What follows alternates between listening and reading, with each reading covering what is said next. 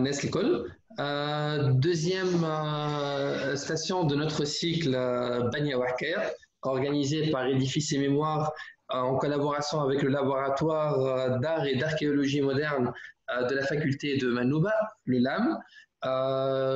كما كما قدمنا لكم قبل le cycle a un objectif c'est la vulgarisation de la question patrimoniale pour le grand public من ناحيه ومن ناحيه اخرى participer activement à la sensibilisation à l'importance de la préservation du patrimoine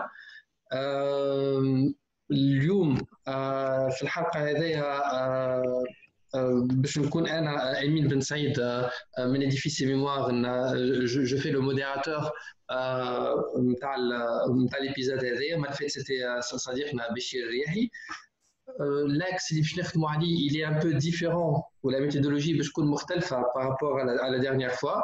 Euh, euh, euh les établissements euh, scolaires à, à caractère patrimonial ou une méthodologie tout à fait différente. Soit à travers de chantiers vécus par des architectes ou des, architectes, des architectes concepteurs ou des architectes au sein d'entreprises. ومن ناحيه اخرى باش ناخذ des exemples de de de d'édifices à caractère patrimonial euh, avec avec nos, nos, nos participants.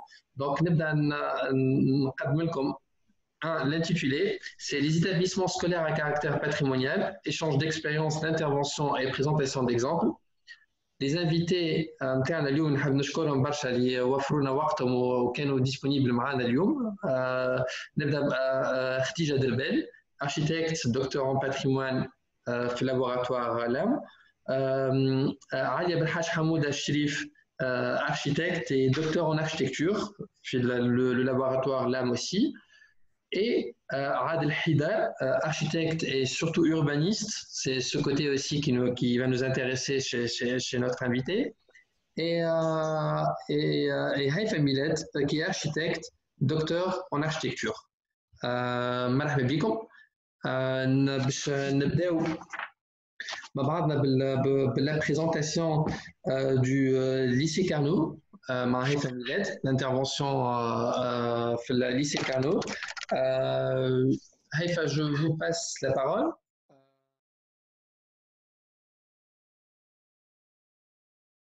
Je commencerai par vous remercier pour le choix de la thématique, pour l'invitation et pour ce beau rassemblement. Ça fait vraiment plaisir de pouvoir discuter de, de tels sujets avec des personnes qu'on connaît, qui, qui ont une valeur autant sur dans le domaine de la pratique que de la recherche. Et ce qui est très intéressant ici, c'est justement cette association de, de l'espace de la recherche et de l'espace de la pratique dans un débat qui dépasse justement cette séparation traditionnelle. Donc, euh, comment je peux pas, je peux. Le partage est Est-ce que c'est bon pour vous? Euh, Là, ça commence à. Oui.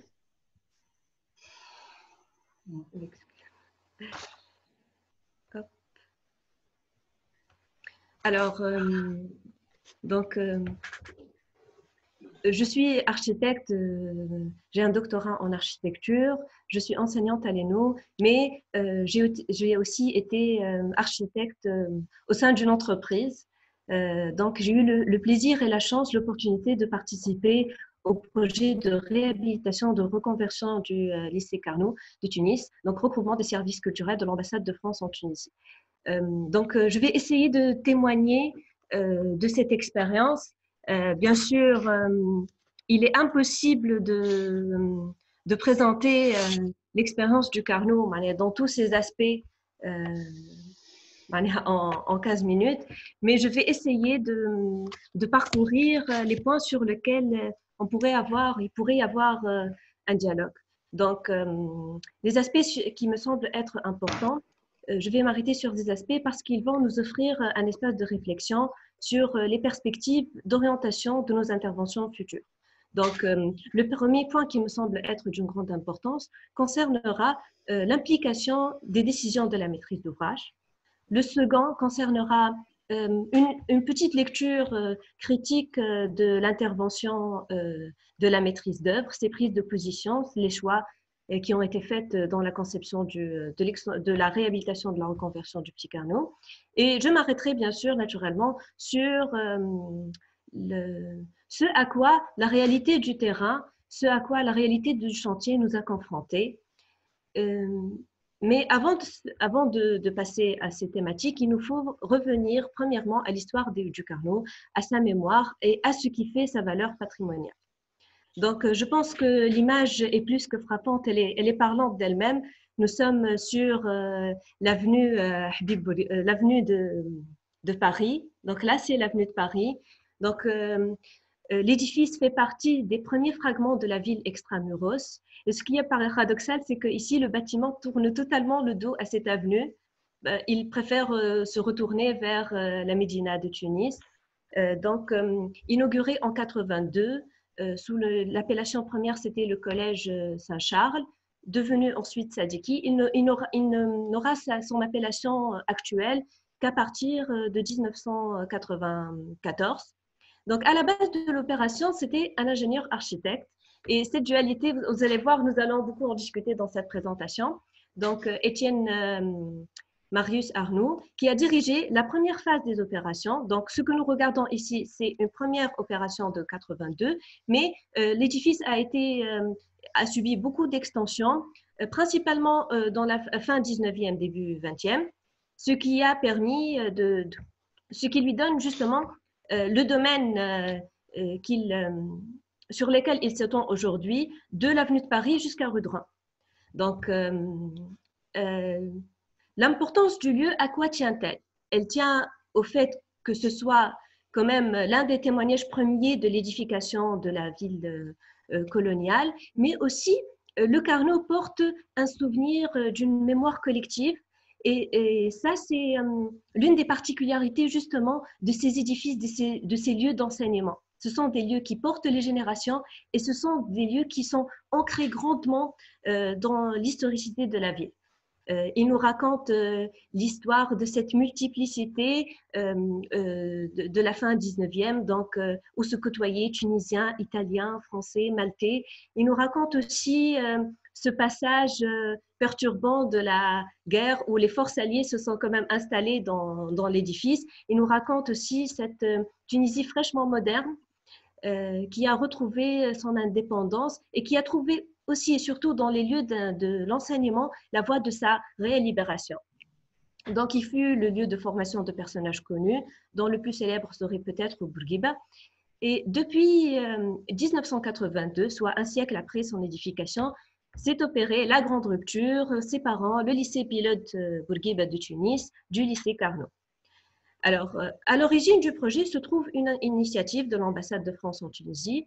Euh, donc, opération a été programmée et dirigée par l'antenne immobilière.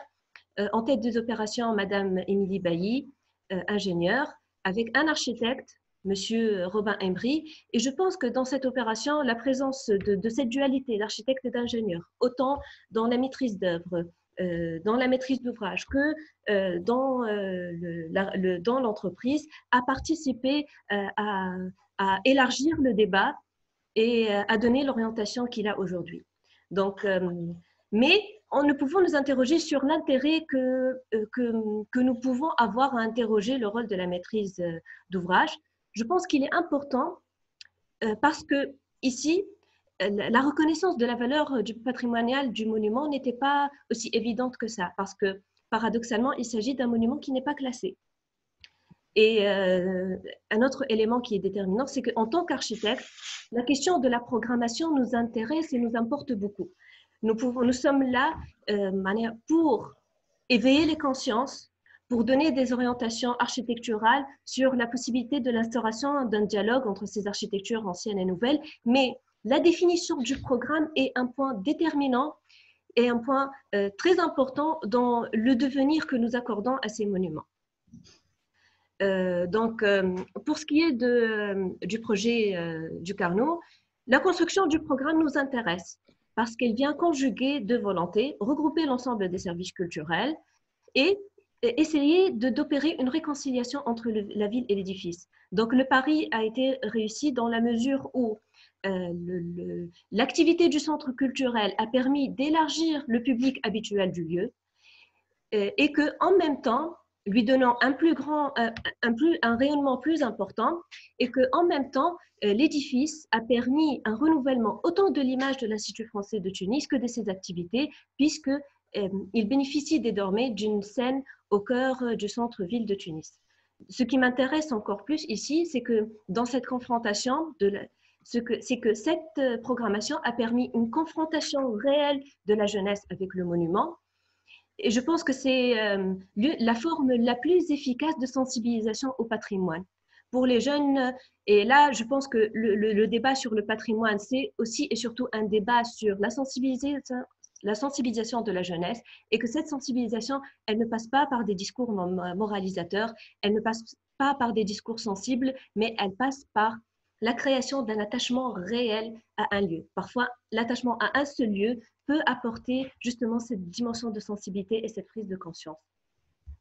Donc, euh, euh, je passe maintenant au parti pris par euh, la maîtrise d'œuvre que je me dois de citer. Donc, Monsieur Hans-Philippe Richter, les architectes Hans-Philippe Richter et Kerim Jedji Gonzalez, avec les BET, Argetec et B2B. Donc, l'édifice alors, sur la photo que nous regardons ici, euh, le, bâtiment qui au fond, c'est un bâtiment qui appartient aujourd'hui euh, au lycée Bourguiba. Donc, il nous reste, euh, donc sur les deux cours, ce bâtiment appartient au lycée Bourguiba. Ce bâtiment n'existe plus, c'est le, bâtiment de R 2 qui donne sur l'avenue. Et donc, dans la prise de position, il est intéressant de citer, de dire que euh, au dépend même des surfaces dédiées aux différentes euh, activités des services culturels, il y a eu la volonté de, de, rester dans l'emprise de ces monuments, de faire un minimum d'extension euh, et d'avoir une liberté modérée principalement sur le bâtiment de 1960. Le bâtiment de 1960, c'est le bâtiment qui va se trouver, qui, qui est sur la limite de l'avenue. Donc, euh, ça, c'est une image sur euh, le monument euh, au moment où nous avons commencé l'opération. Donc, la plus grande partie de la, liberté a été prise dans cette partie, principalement. Ça, c'est le bâtiment de 1960. Malheureusement, je n'ai pas retrouvé le nom de l'architecte. alors, et ça, c'est le résultat au terme de à la fin des opérations. Donc, euh, la conservation de la confrontation de l'édifice est doublée euh, d'une double volonté. Donc, soutenir une, euh, fidélité à la valeur esthétique des bâtiments du 19e, contrastée par l'instauration d'un dialogue avec une, écriture fondamentalement contemporaine sur l'édifice de 1960. Donc, la conséquence, c'est un projet où s'assume le dialogue entre l'accent patrimonial exprimé par le caractère colonial du premier fragment du lycée et l'hommage et la mise en valeur de l'ancien ne passent pas par euh, euh, cette obsession de la sacralisation, qu'elle passe aussi par l'introduction d'une écriture contemporaine par laquelle s'assume l'historicité réelle du lieu. Le Carnot, c'est un bâtiment qui a toujours été dans cette idée d'historicité du devenir. Il a toujours été un bâtiment en devenir. Et je pense que le dialogue d'une architecture contemporaine avec, avec le, tissu, le premier fragment euh, n'apporte pas de fausseté, mais qu'elle s'inscrit dans cette euh, stratification. Donc, s'instaure ici un dialogue entre cette toile perforée en inox qui trouble un peu les repères habituels de la perception et qui instaure un nouveau tissage esthétique. Ici, nous retrouvons la, façade initiale sur euh, l'avenue du l'avenue de Paris, avec le résultat donc, euh, sur la ville, c'est un dialogue inhabituel, certes, mais qui vient définir euh, de nouveaux repères et, une sorte de réconciliation avec euh, l'avenue. Alors, je voudrais ici faire une lecture au travers de, des termes de la charte, des chartes d'Athènes et de, Nice. Donc, ce qui est important, c'est que le, chantier a aussi été un espace de débat euh, autour de ces questions qui sont fondamentales et qui nous, nous échappent malheureusement très souvent dans les euh, interventions sur le patrimoine. Donc, euh, le parti pris, l'un des principes, ça a été de retranscrire avec les techniques actuelles les éléments qui donnent le caractère du lieu. Donc, dans les DCE de la maîtrise d'œuvre, autant que dans nos dossiers d'exécution et de fabrication, nous avons élaboré, en tant qu'entreprise, nous sommes attelés à assurer une conformité ou plutôt une retranscription, une réécriture des éléments architectoniques, qu'il s'agisse des couronnements de la façade, des dispositifs d'encastrement très particuliers des menuiseries que nous voyons ici, euh, les ouvertures, euh, ces persiennes à la française, euh, les arrêtoires marseillais, jusqu'au dispositif d'évacuation de pluviale, nous aurions pu, nous avions, nous aurions pu les intégrer à l'intérieur, mais la volonté c'était vraiment de reprendre cette, euh, la, réalité de, de, rester conforme à la réalité du bâtiment. Euh, et aussi, il y avait une volonté de se conformer Lorsque c'était possible, aux techniques traditionnelles, par exemple sur les enduits extérieurs, nous avons opté pour euh, des enduits purement, euh, purement traditionnels. Donc, euh, il y a important sur un point important sur la question des chartes. deux principes sont très difficiles à réaliser dans les interventions de réhabilitation, qui sont les principes de visibilité et de réversibilité.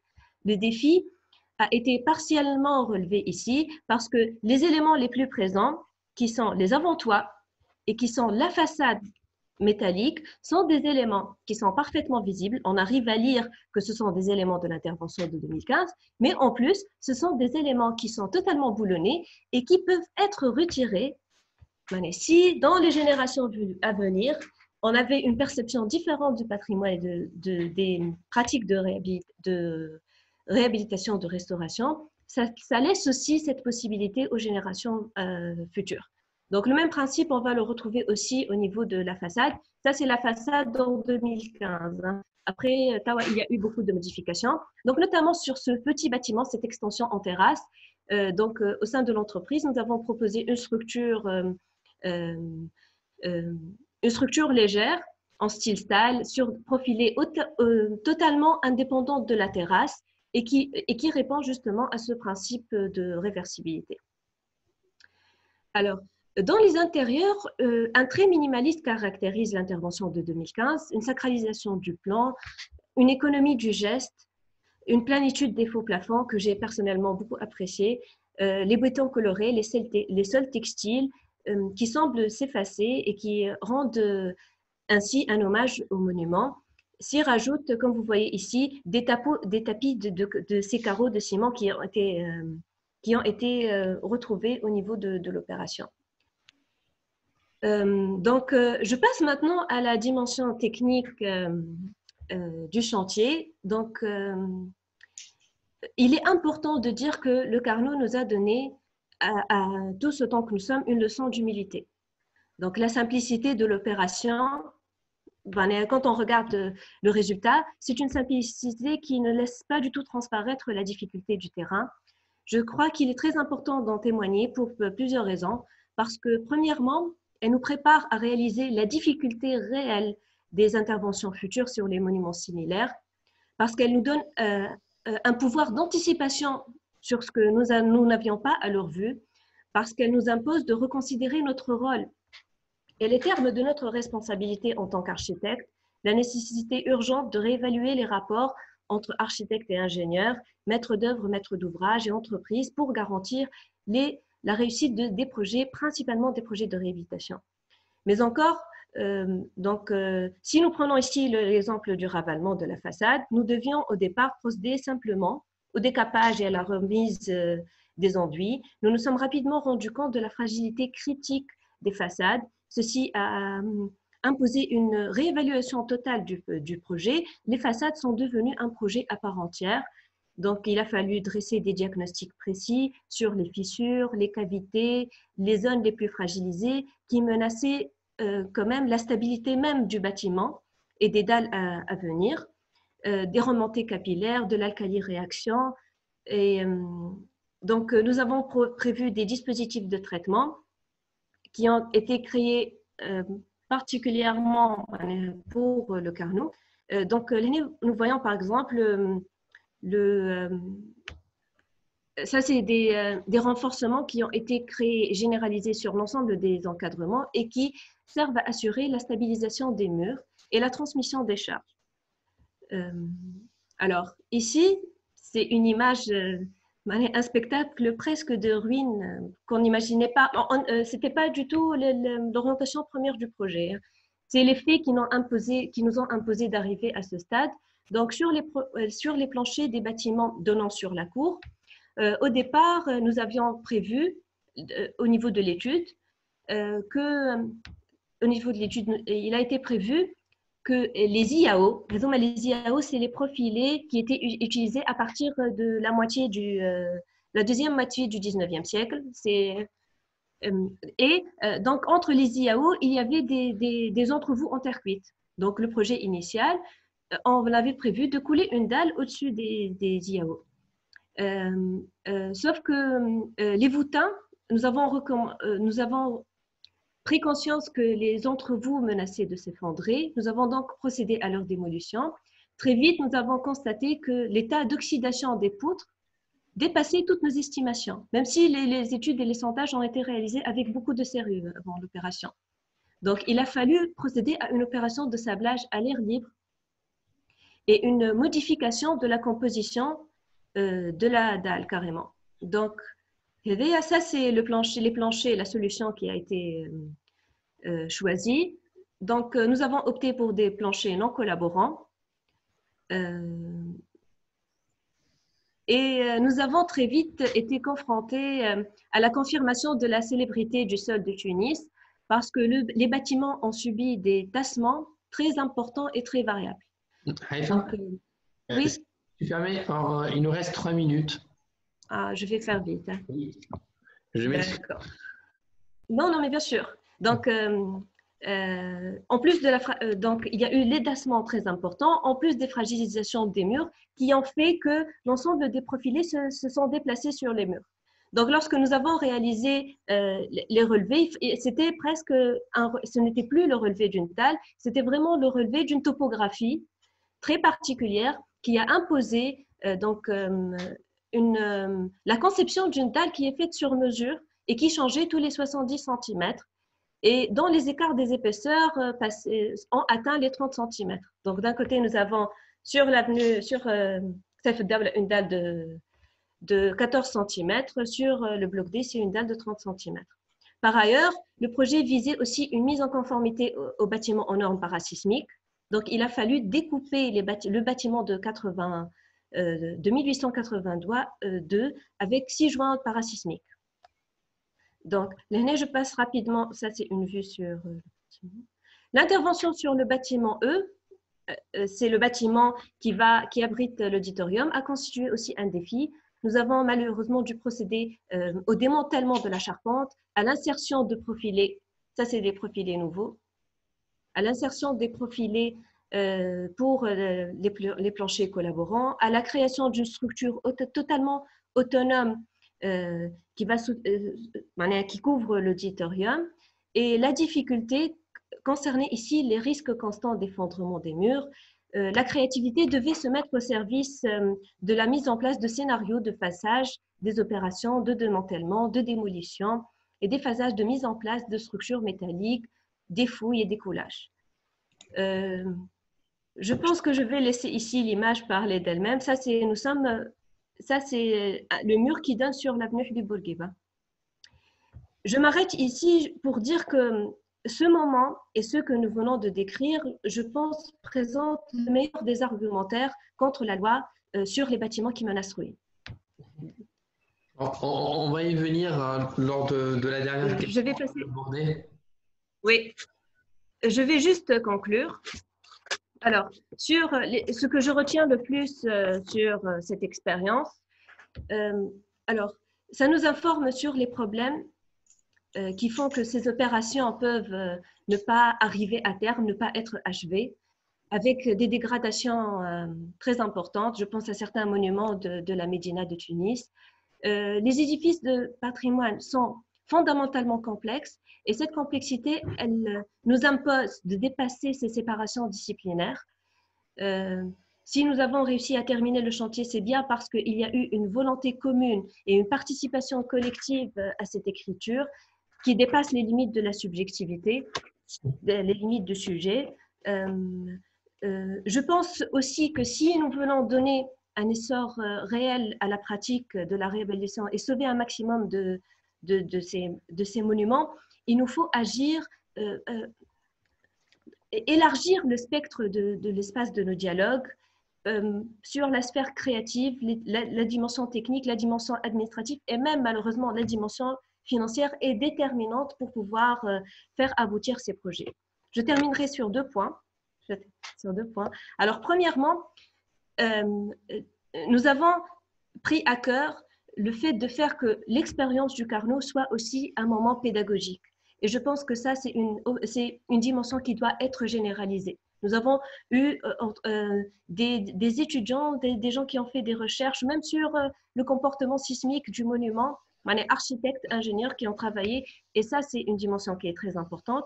Et le dernier, le dernier point, c'est que euh, l'expérience du lieu, c'est aussi une expérience qui est purement poétique, qui est très sensible et, qui comporte en elle une dimension poétique créatrice. D'ailleurs, ce que vous regardez ici, c'est un projet euh, qui a été initié par euh, Madame Émilie Bailly. C'est un projet photo. Elle m'a permis de, diriger ce projet avec le photographe Enis Mili. Et, et, et ce projet, il nous montre justement que ces lieux représentent des expériences qui sont certes techniques, mais qui sont aussi hautement poétiques. Et euh, ce projet photo nous permet aussi de dépasser euh, le, risque de la fausseté, parce qu'ils nous permettent de, dire la vérité du chantier. Merci, Voilà. Je m'excuse si je me suis étalée. Je vous remercie. aussi passionnante que ça. Vraiment, je, je m'excuse. C'est juste pour pouvoir euh, la, la, chose et on aura l'occasion d'en discuter euh, euh, au niveau du débat. D'accord? Merci à vous. Que vous avez soulevées, euh, elles sont très, très, très intéressantes. Mais, j'ai choisi, de parler de cette école vu qu'elle présente pour moi, pour, moi un symbole de l'architecture de la reconstruction, vu que chaque espace de l'école présente, euh, bien évoque, euh, repose sur un savoir-faire traditionnel. Euh, les salles de classe sont, recouvertes d'une couverture en voûte, en berceau. Les galeries de la salle de classe sont avec des voûtes minces de 5 mètres de portée. Cette portée, c'est pour la première fois qu'on va l'utiliser. 6 mètres, d'habitude, ils sont utilisés de 4 mètres 40, 4 mètres les, les préaux où se trouvent les sanitaires ou bien les, les, annexes de l'école, les lavabos, les toilettes, les sanitaires, et, euh, protégés par une voûte euh, imposante, pénétrés de part et d'autre par des petites euh, voûtes perpendiculaires qui représentent des dimensions énormes et un savoir-faire local.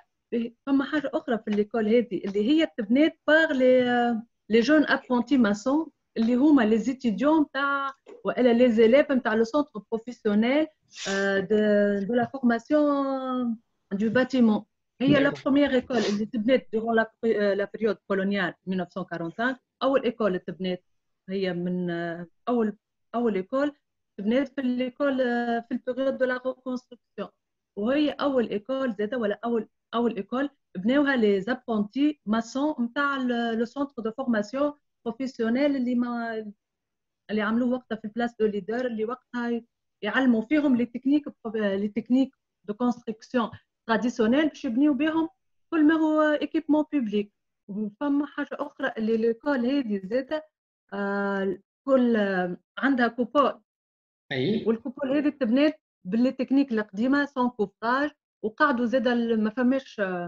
ما هيش اندويتي معناها عملوا لي ما ترى التكستور نتاع لي بريك لي بريك اللي عملوا بها الكوبور داكور وكما زاد هي اي حاجه فيها من كل كل اسباس كيف نحن نقولوا يليفوك ولا يسو ريبوز سور لو سافوار فير تراديسيونيل او بيان في حاجه تراديسيونيل زاد les vestibules d'accueil sont tapissés par des carreaux de céramique de Khalali,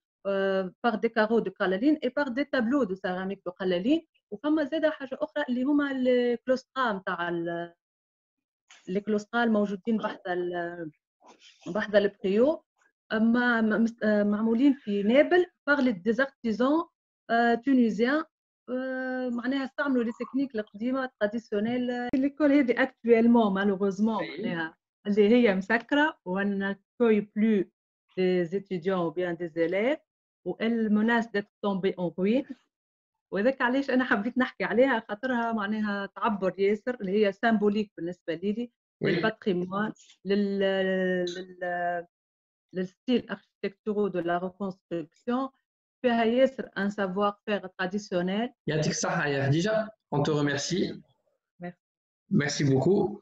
Euh, كان تسمحوا يا جماعه on passe euh, euh, euh, au troisième euh, exposé qui est celui de, notre confrère Adel Hida.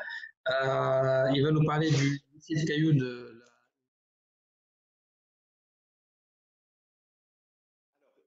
je vais vous présenter toujours dans le, dans le même thème, à savoir le rapport entre les édifices d'enseignement et le, patrimoine, donc le, projet de la réhabilitation du site général du, du lycée Gustave Flaubert de la Marsa. Alors, je fais une petite introduction sur ce, sur ce projet qui est issu d'un concours en 2012 où donc un certain nombre d'architectes, euh, aussi bien à l'échelle euh, de la Tunisie qu'à l'international, ont été consultés pour, euh, pour intervenir justement sur ce parc au cœur de, de la Marsa, qui fait presque 5 hectares et qui est un parc très, très boisé, avec un patrimoine végétal euh, très intéressant. Un, un, lycée, bien sûr, le lycée Gustave Flaubert, anciennement appelé lycée Caillot. D'ailleurs, euh, on le connaît beaucoup plus sous ce nom. la majorité des, des Marsois connaissent cette appellation. Alors effectivement, c'est le lycée Maurice Caillou à la base, donc, qui, qui, a vu le jour à la fin des années 50. Euh, en fait, le projet, enfin l'idée de créer un lycée euh, existe depuis les années, euh, début des années 50. Et c'est en 1957 justement que euh, l'architecte paysagiste, d'ailleurs Joseph Lafourcade, qui est aussi le paysagiste du parc du, du, Belvédère, donc on avait fait venir de Paris pour imaginer ce, ce lycée qui serait donc dans un premier temps, il a été conçu justement comme une annexe du lycée de Carthage. C'est que plus tard qu'il a eu son indépendance totale en tant que lycée euh, français à part entière. Alors ce concours, donc lancé par l'AEFE, euh, donc visait justement à redonner une sorte de, cohérence au sein de ce, parc, parce que justement il y avait eu beaucoup de, de rajouts successifs euh, qui n'ont pas toujours été coordonnés les uns avec les autres, et, que justement ça commençait à manquer de, cohérence, d'autant plus que des nouvelles extensions ont été envisagées à cette époque. Alors, je, me suis associé avec euh, Voix Off Architecture, qui est une agence d'architecture installée à Grenoble, euh, dont, le, créateur euh, Olivier Félix Faure avait une expérience assez importante euh, en intervention en site occupé. Alors, tant qu'architecte spécialisé dans les hôpitaux, il avait conduit euh, beaucoup d'opérations justement d'extension d'hôpitaux en Europe, un peu partout, euh, tout en gardant l'aspect fonctionnel de l'édifice, c'est-à-dire justement cette intervention en, site occupé. Et comme ça avait été bien précisé au départ, euh, nous avons pensé que faire une équipe mixte, donc avec un architecte mandataire tunisien et un spécialiste, disons, de l'intervention sur les bâtiments existants, donc c'est de, de la rénovation, de l'extension, donc c'est comme ça qu'on a vu les choses, avec un regard sur le paysage. Alors tu disais tout à l'heure, euh, Emile, que j'étais euh, j'étais urbaniste de formation. En fait, je suis aussi paysagiste et, c'est beaucoup plus sous cet angle de, de, de conception qu'on a abordé le projet. On s'est dit un, un, aussi joli euh, parc au cœur d'une ville, c'est peut-être là justement que se trouve l'essentiel du patrimoine. D'autant plus que les bâtiments, on peut commencer si tu veux, on peut passer à la, à la suivante. Donc on va, on va voir justement que euh, la lecture générale du, du plan masse du, du projet montre qu'il y a quand même une multitude de constructions. Donc, euh, ces constructions, on les devine pas quand on est euh, à l'extérieur du site, parce qu'il y a justement un patrimoine végétal très dense, surtout sur la périphérie, et, que même si c'est pas l'impression que ça donne comme ça à une première lecture, les bâtiments sont quand même assez distanciés euh, les uns les uns des autres. Euh, donc à la base, euh, dans les années 50, au début des années 50, il existait environ trois bâtiments sur le site. Donc je pense qu'il s'agissait du bâtiment E qui occupe actuellement donc le bâtiment qui est sur la sur la gauche du plan masse qui est occupé actuellement par le CDI, le centre de documentation, le bâtiment A qui est le provisorat avec euh, un axe en face euh, euh, bordé de palmiers washingtoniens qui débouche directement sur la rue Afnel Karak qui elle-même se trouve dans la perspective de la, de la mosquée Al-Ahmadi de, de, la Marsa. Donc ça, c'est côté nord, nord, nord-ouest. Ensuite, sur, sur l'est, donc sur la droite du plan masse, on a toute une série de, bâtiments toujours existants, dont le bâtiment T, je pense, euh, était un peu à l'origine euh, des bâtiments existants. Donc, il n'y a pas beaucoup de cohérence sur ce site qu'on découvre. On peut passer à la diapo suivante. Alors, source d'inspiration tout de suite par rapport à ce, lieu, à ce site, c'est cette proximité de, de l'urbanisation. Donc, on se trouve face à une typologie euh, d'habitation. C'est essentiellement de l'habitat hein, dans ce quartier, de l'habitat euh, initialement individuel qui parfois a muté vers, euh, vers un habitat collectif. Donc, des étages qui ont été rajoutés. Mais grosso modo, on garde quand même une certaine euh, cohérence au niveau de la volumétrie, les îlots sont, sont assez clairement définis. La composante végétale est moins présente que sur, sur le site. Alors bien sûr, la prédominance de la mer qu'on voit en arrière-plan. Donc je disais tout à l'heure justement que le patrimoine euh, végétal constitue probablement l'essentiel de ce site, mais il faut quand même aussi souligner que les bâtiments existants, on verra un petit peu définir, qu'on a vraiment analysé au cours de la première lecture, euh, témoigne aussi d'une architecture euh, euh, que je situerai un petit peu après la, la reconstruction. Donc c'est une, une, une, architecture empreinte de modernité, construite avec des moyens qui sont parfois limités et, et souvent avec une, une, une, grande rapidité parce que, comme je disais, le, le, le, lycée a ouvert ses portes en 57 et en 59, toute une série d'extensions avait déjà été finalisées, dont ce bâtiment que vous voyez en face de vous, qui est le bâtiment le plus dominant du site. C'est le bâtiment euh, G. Donc lui, il est sur trois, sur trois niveaux. Alors, ce bâtiment G, il, euh, comporte un certain nombre d'éléments architecturaux intéressants. On peut les appeler des, monnaies, des modénatures, mais c'est pas toujours que des modénatures. Il y a aussi parfois des, éléments fonctionnels comme des escaliers qui euh, font partie de la conception initiale ou qui ont été rajoutés aussi euh, parfois.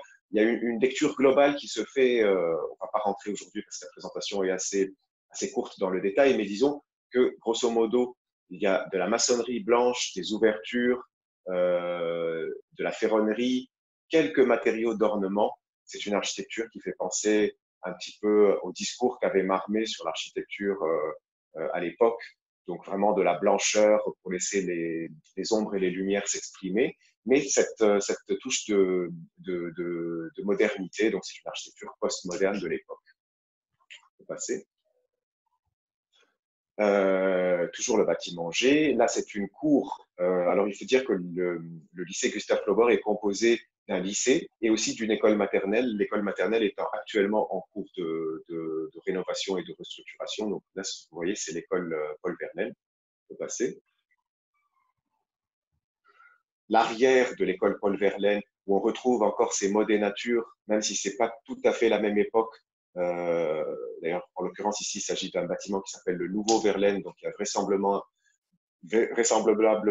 euh, été construit plutôt dans les années 60, début des années 60. Donc, euh, un peu comme le montrait Haïfa tout à l'heure dans sa présentation, écoulement d'eau pluviale apparente, ordonnancement architectural assez, assez précis au niveau des façades avec, avec cet aspect postmoderne. Les tailles sur les ouvertures. Alors là, on va s'arrêter un, instant parce que je vais vous présenter le, projet, disons, euh, qui constitue la première phase de cette euh, réhabilitation générale. Donc nous sommes euh, d'eau, le, provisorat est derrière nous et nous avons donc l'axe de la rue Kaak en face de nous. Sur la droite, un bâtiment qui, qui, est le bâtiment dédié à l'enseignement des sciences jusqu'à notre intervention. Donc c'est un bâtiment très vétuste dans lequel les sciences ont été enseignées pendant de nombreuses années au, lycée Caillot. Et la première demande euh, à l'issue du concours, suite à l'analyse euh, du site et, des demandes du client, a été justement de, reconstruire un, bâtiment scientifique euh, pour remplacer ce, cet ancien bâtiment vétuste. Et tout ça a été conçu, on va le voir tout à l'heure au niveau du, plan masse des états projetés, a été conçu dans l'esprit de redonner au site sa dimension paysagère, de ne pas le surcharger en construction. Donc, il y avait aussi bien un programme de nouvelle construction qu'un programme de, de, déconstruction d'anciens bâtiments, dont ce bâtiment sur la droite faisait partie. Alors, sur la gauche, nous avons le parking, qui est le futur site de notre, de notre extension, donc le nouveau bâtiment scientifique. Ce, ce parking, nous avons euh, tout de suite imaginé, avec la maîtrise, euh, avec la maîtrise euh, d'ouvrage, de, le supprimer parce qu'il occupait un espace trop important au, cœur du site. Et on a imaginé que finalement, redonner euh, à ce parc sa dimension euh, euh sa dimension euh, purement humaine, exclure un petit peu les voitures de, ce processus, pourrait constituer un élément assez important. Vous voyez un petit peu la taille que le parking occupait à l'époque par rapport à ce site.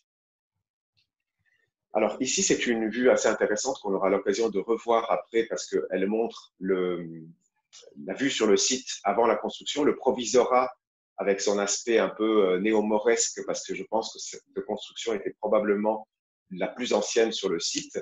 Donc, elle a été aussi revue au fur et à mesure par des, changements de menuiserie, des, des, requalifications de certaines ouvertures. C'est une architecture qui a toujours été entretenue d'une façon euh, assez proche du, du programme, avec pas de grosses transformations au niveau des échelles, mais des rajouts qu'il est difficile d'ailleurs d'identifier avec précision. On peut passer. Les terrains de sport euh, qui étaient originels sur le terrain. Alors là, je vous euh, un petit retour en arrière, si tu peux juste, voilà, plutôt en avant sur la, sur la diapo du plan masse. OK. Alors voilà, ça va me permettre d'introduire le projet et surtout le parti paysager et, urbain qui sont vraiment à l'origine du, projet. Alors, le projet que nous allons voir maintenant est, un bâtiment scientifique. Donc, il se trouve, c'est le bâtiment qui est en épi, en jaune, qui se trouve sur la gauche au niveau du plan masse en haut. Donc, euh, comme vous le voyez, il y a l'allée du provisorat, l'axe euh, provisorat rue Afmenkaak, et ensuite le bâtiment S que vous ne voyez plus, l'ancien bâtiment scientifique sur cette diapositive, il est déjà supprimé. L'idée étant de former une très grande cour euh, qui était un peu un, point faible aussi de cet établissement. Il manquait, une cour structurante, euh, comme on le voit dans la majorité des lycées. Donc, cet élément fédérateur euh, qui aurait pu donner justement une, dimension un peu plus, qui aurait pu favoriser un peu plus le rassemblement des élèves et donner à, ce, à, cet établissement sa cohérence. moi, je pense que c'est fondamental. Je vous expliquerai par la suite pourquoi aujourd'hui c'est plus tout à fait à l'ordre du jour. Euh, alors, un petit mot sur la, un petit mot sur la maîtrise euh, d'œuvre. Alors, la maîtrise d'ouvrage, d'abord, la maîtrise d'ouvrage est composée, c'est l'AEFE, donc euh, notre client, donc avec initialement aussi l'antenne immobilière de l'ambassade de France comme vis-à-vis direct sur le terrain. la maîtrise d'œuvre est composée de deux architectes, deux agences d'architecture, plutôt l'une basée à Sousse et l'autre à Grenoble, avec respectivement des chefs de projet euh, donc Adrien Félix Fort côté Grenoble, Lydia Lari côté euh, Sousse, qui ont assuré donc la maîtrise d'œuvre en tant que jeunes architectes, beaucoup plus sur la partie architecturale euh, et, technique. nous avons aussi suivi le chantier ensemble. En revanche, le projet lui-même, sur le plan conceptuel, sur le plan paysager, sur le plan intégration, réflexion sur le patrimoine, lui, beaucoup plus euh, une discussion entre, entre Olivier Félix Fort et moi-même, donc euh, mon associé sur cette, euh, sur cette opération. on peut passer. Alors, dans la lecture générale du site, on a vu qu'il y avait un, certain nombre de bâtiments qui cohabitaient bon gré, mal gré entre eux, mais avec un lien assez fort. Je pense que ce qui relie un petit peu toute cette, tout, ce, tout ce cadre bâti, je ne parlerai pas vraiment d'architecture parce que pour parler d'architecture, il, faudrait peut-être avoir d'autres éléments qui ne sont pas toujours présents. Disons qu'on on, parle d'un certain cadre bâti existant euh, dont le lien fort est, le paysage. Donc on voit ici sur cette coupe l'échelle des arbres qui permet justement d'entretenir une, cohabitation entre, entre les bâtiments à travers cette lecture paysagère qui est commune.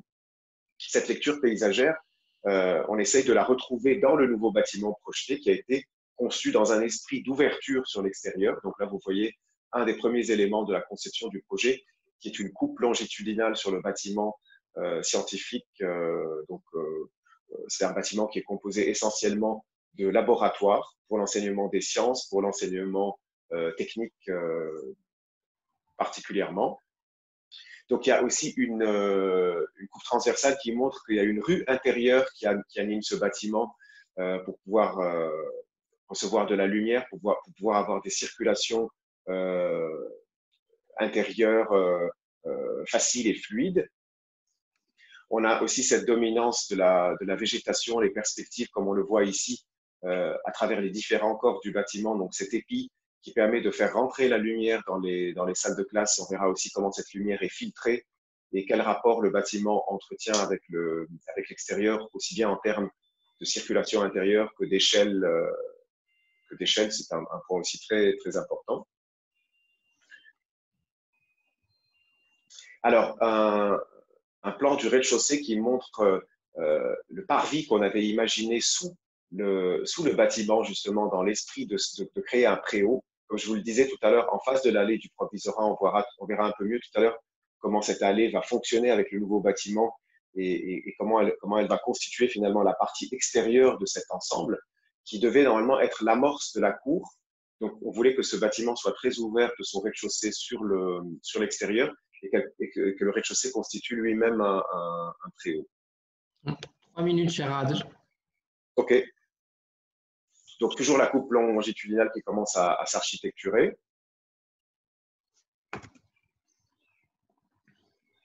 Ensuite, un, travail sur l'enveloppe euh, assez important justement pour véhiculer euh, ce rapport.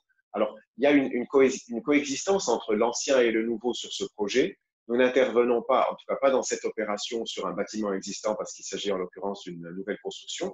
En revanche, le rapport patrimonial se situe dans ce dialogue qu'on doit instaurer entre l'ancien et le nouveau. Donc, pour nous, c'était essentiellement un dialogue paysager, une certaine neutralité au niveau de la conception pour avoir vraiment des écrans très libres permettant à la, à la végétation, aux ombres, à la lumière de s'exprimer euh, librement sur la, sur la façade en fonction des saisons euh, et des différentes périodes de la journée. Donc, ce sont des, des éléments brise-soleil. Donc là, c'est un plan du, du rez-de-chaussée sur lequel on va passer rapidement. Ce sont des éléments brise-soleil qui, euh, qui ont occupé la façade et qui, qui permettent, je pense, Émile, tu peux passer directement, euh, sans me poser de questions, directement de diapo en diapo. Donc, euh, le projet avance sa réalisation. Donc, euh, vous voyez encore côté terrain de sport un petit peu ces, ces écrans qui mhm. constituent des piliers par rapport euh, à la façade ouest du projet des vues sur l'intérieur avec les brises soleil qu'on va voir tout à l'heure une fois construit.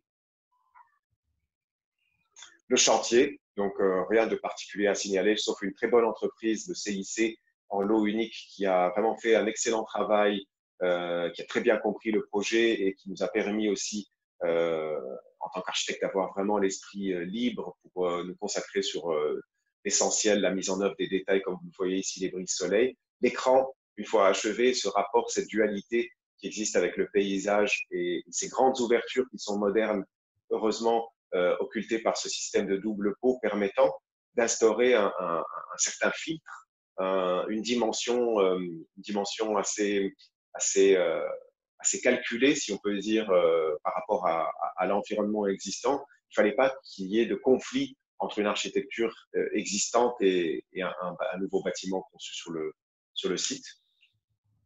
Donc encore la vue intérieure sur les épis, l'escalier intérieur une fois construit donnant sur les coursives intérieures.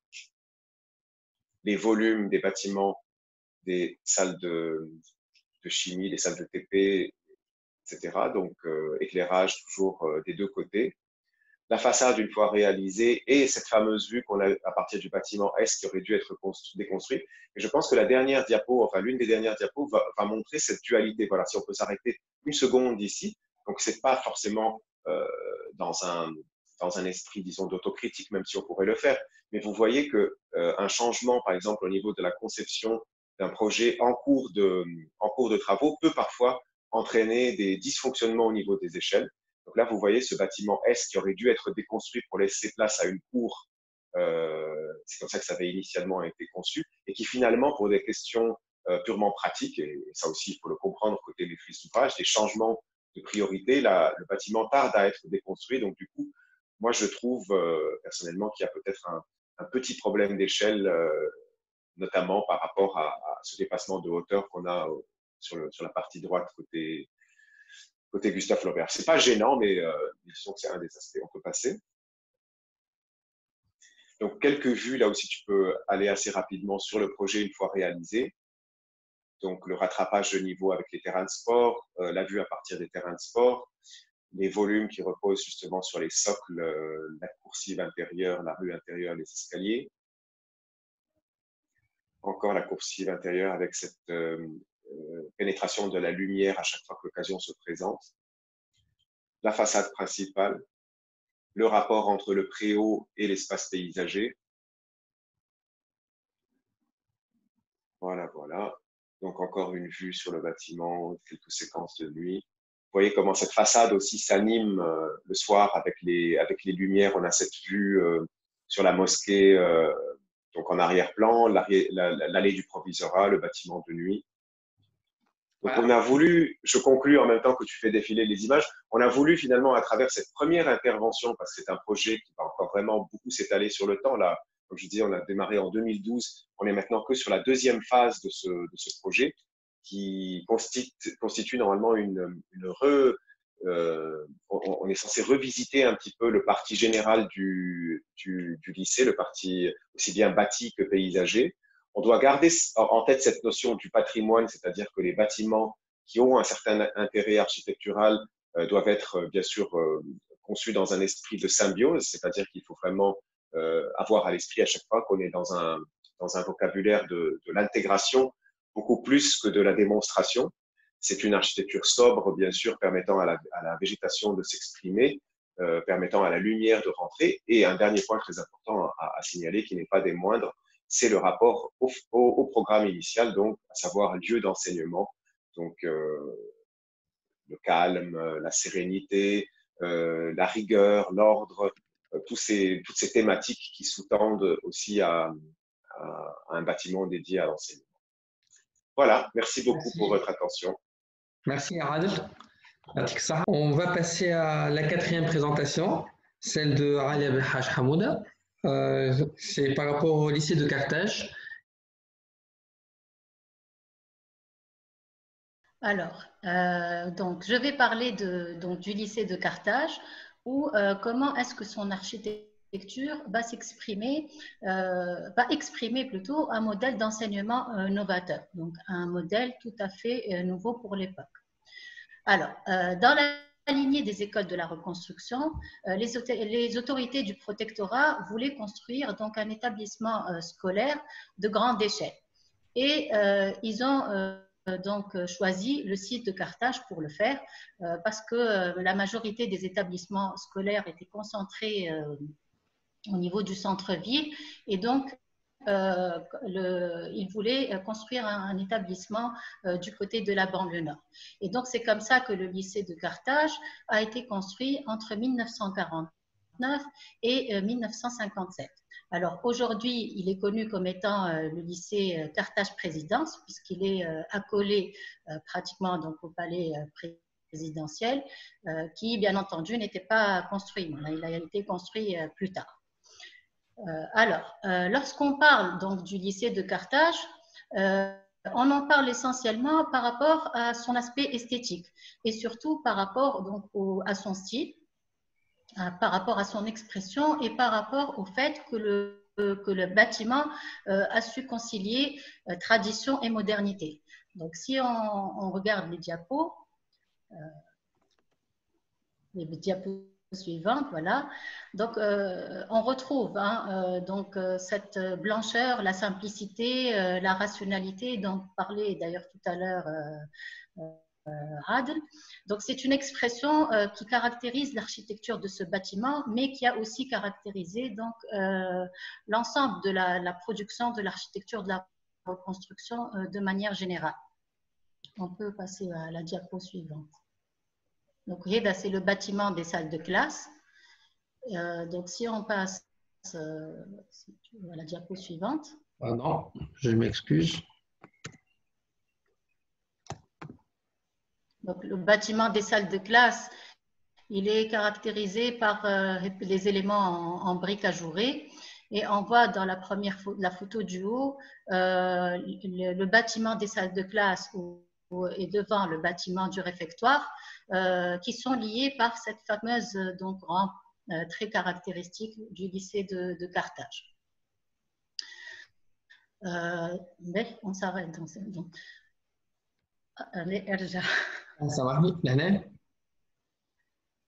euh, Tu peux rester sur Marmé. Ok. Alors, donc moi, alors euh, si je vais parler, si je vais parler aujourd'hui euh, donc du lycée de Carthage, je vais en parler par rapport à un autre aspect hein, qui est tout aussi important, c'est donc le fait que le lycée a constitué un modèle avant-gardiste et innovant pour son époque c'est-à-dire qu'au moment euh, de sa construction, euh, qu'au moment de sa commande, euh, le lycée de Carthage était appelé à devenir une sorte d'icône de l'enseignement moderne en Tunisie, mais également de par le monde. Parce qu'il faut rappeler que le lycée de Carthage a été sélectionné pour la quatrième biennale de Sao Paulo au Brésil en 1957. Donc, c'est une exposition dans laquelle on présentait des projets d'architecture et d'urbanisme d'ailleurs, qui étaient euh, très innovants. Donc, euh, le bâtiment était tout à fait conforme aux modèles euh, normalisés internationaux qui étaient réalisés à cette époque, à cette époque-là. Donc, pour résumer, en fait, on a cherché à appliquer dans le lycée de Carthage tout ce qui se faisait de plus élaboré, de plus avancé, euh, de plus développé par rapport à tout ce qui était normes, réglementation des établissements scolaires. Et donc, je vais essayer de présenter euh, donc cet aspect-là du, lycée de Carthage.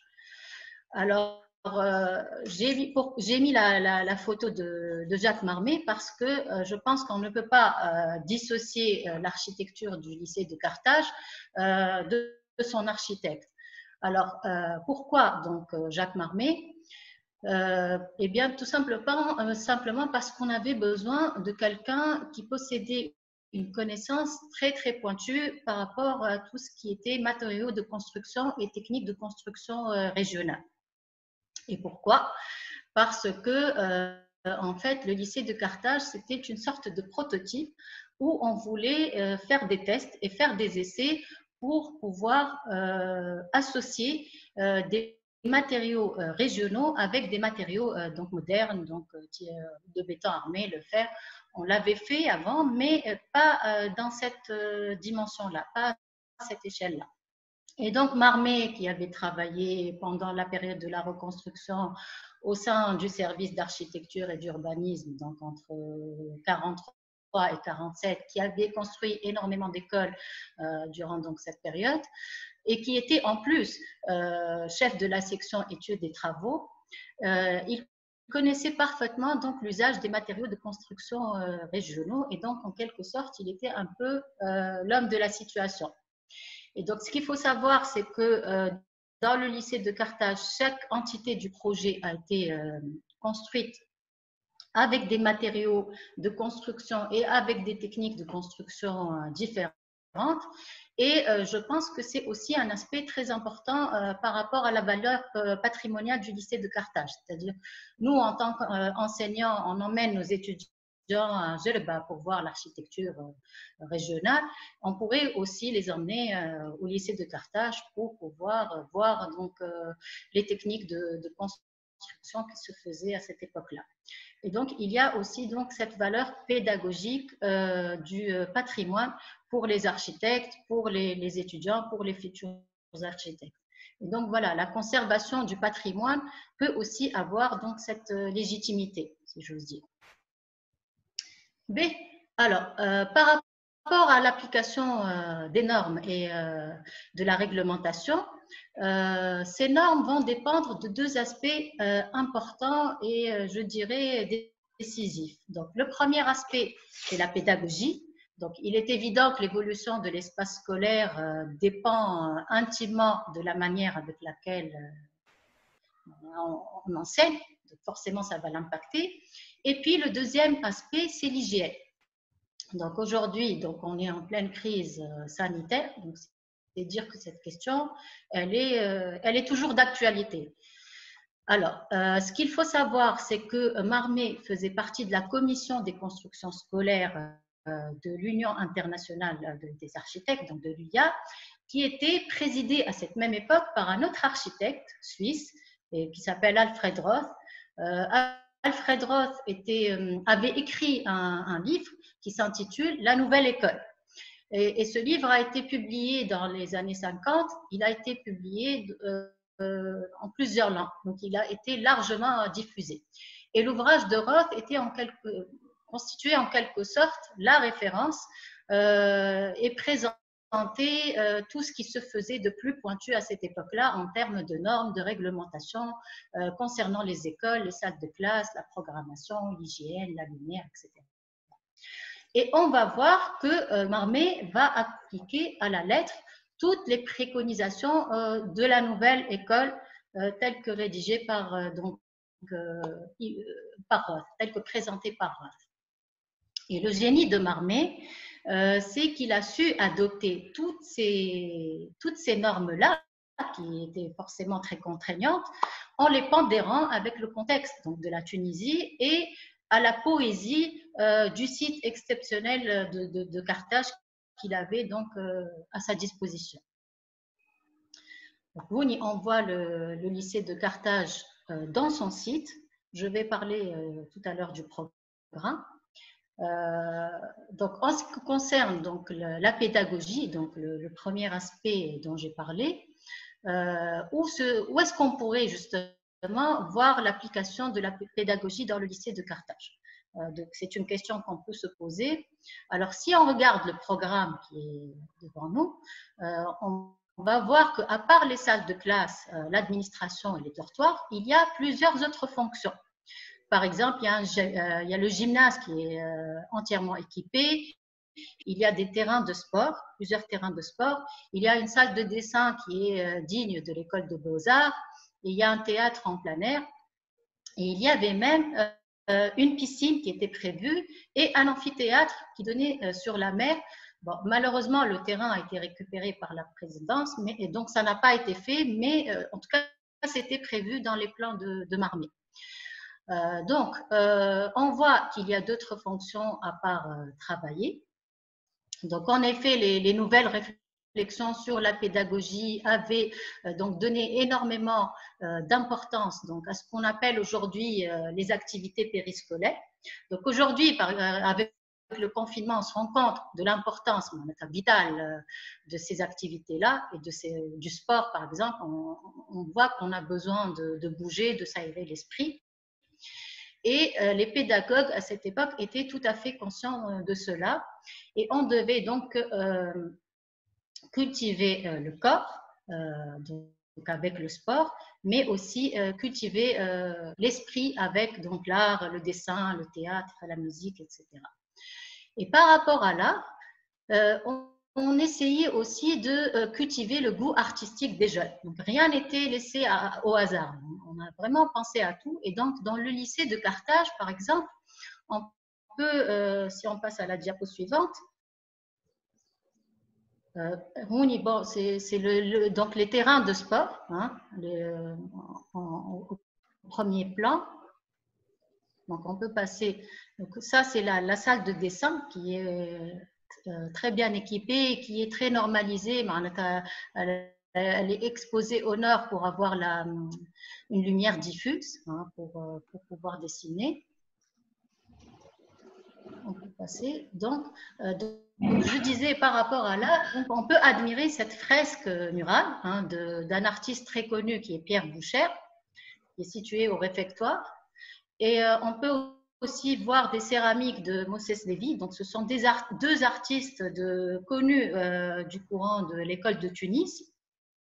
Et on doit, on doit probablement ces œuvres à, la fameuse loi des 1% artistiques. Donc, c'était euh, une loi où on allouait 1% du budget du projet pour des œuvres artistiques. Bon, aujourd'hui, malheureusement, cette loi n'est plus en vigueur et euh, probablement pour des restrictions budgétaires budgétaire, pardon, et bon, je trouve que c'est vraiment dommage.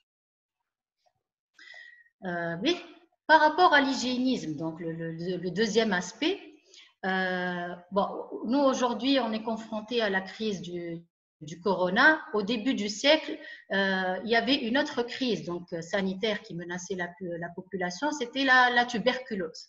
Donc la tuberculose faisait beaucoup de victimes et l'espace, euh, de manière générale, était mal adapté et favorisait la propagation de, cette maladie. Et c'est comme ça qu'on va amorcer ce qu'on va appeler l'hygiénisme en architecture et même en urbanisme. Euh, et euh, l'hygiénisme va entièrement bouleverser l'espace et la manière de concevoir. Et on, va donc appeler à l'ouverture de l'espace, à la pénétration de l'air euh, et de la lumière, notamment à travers l'architecture moderne. Hein.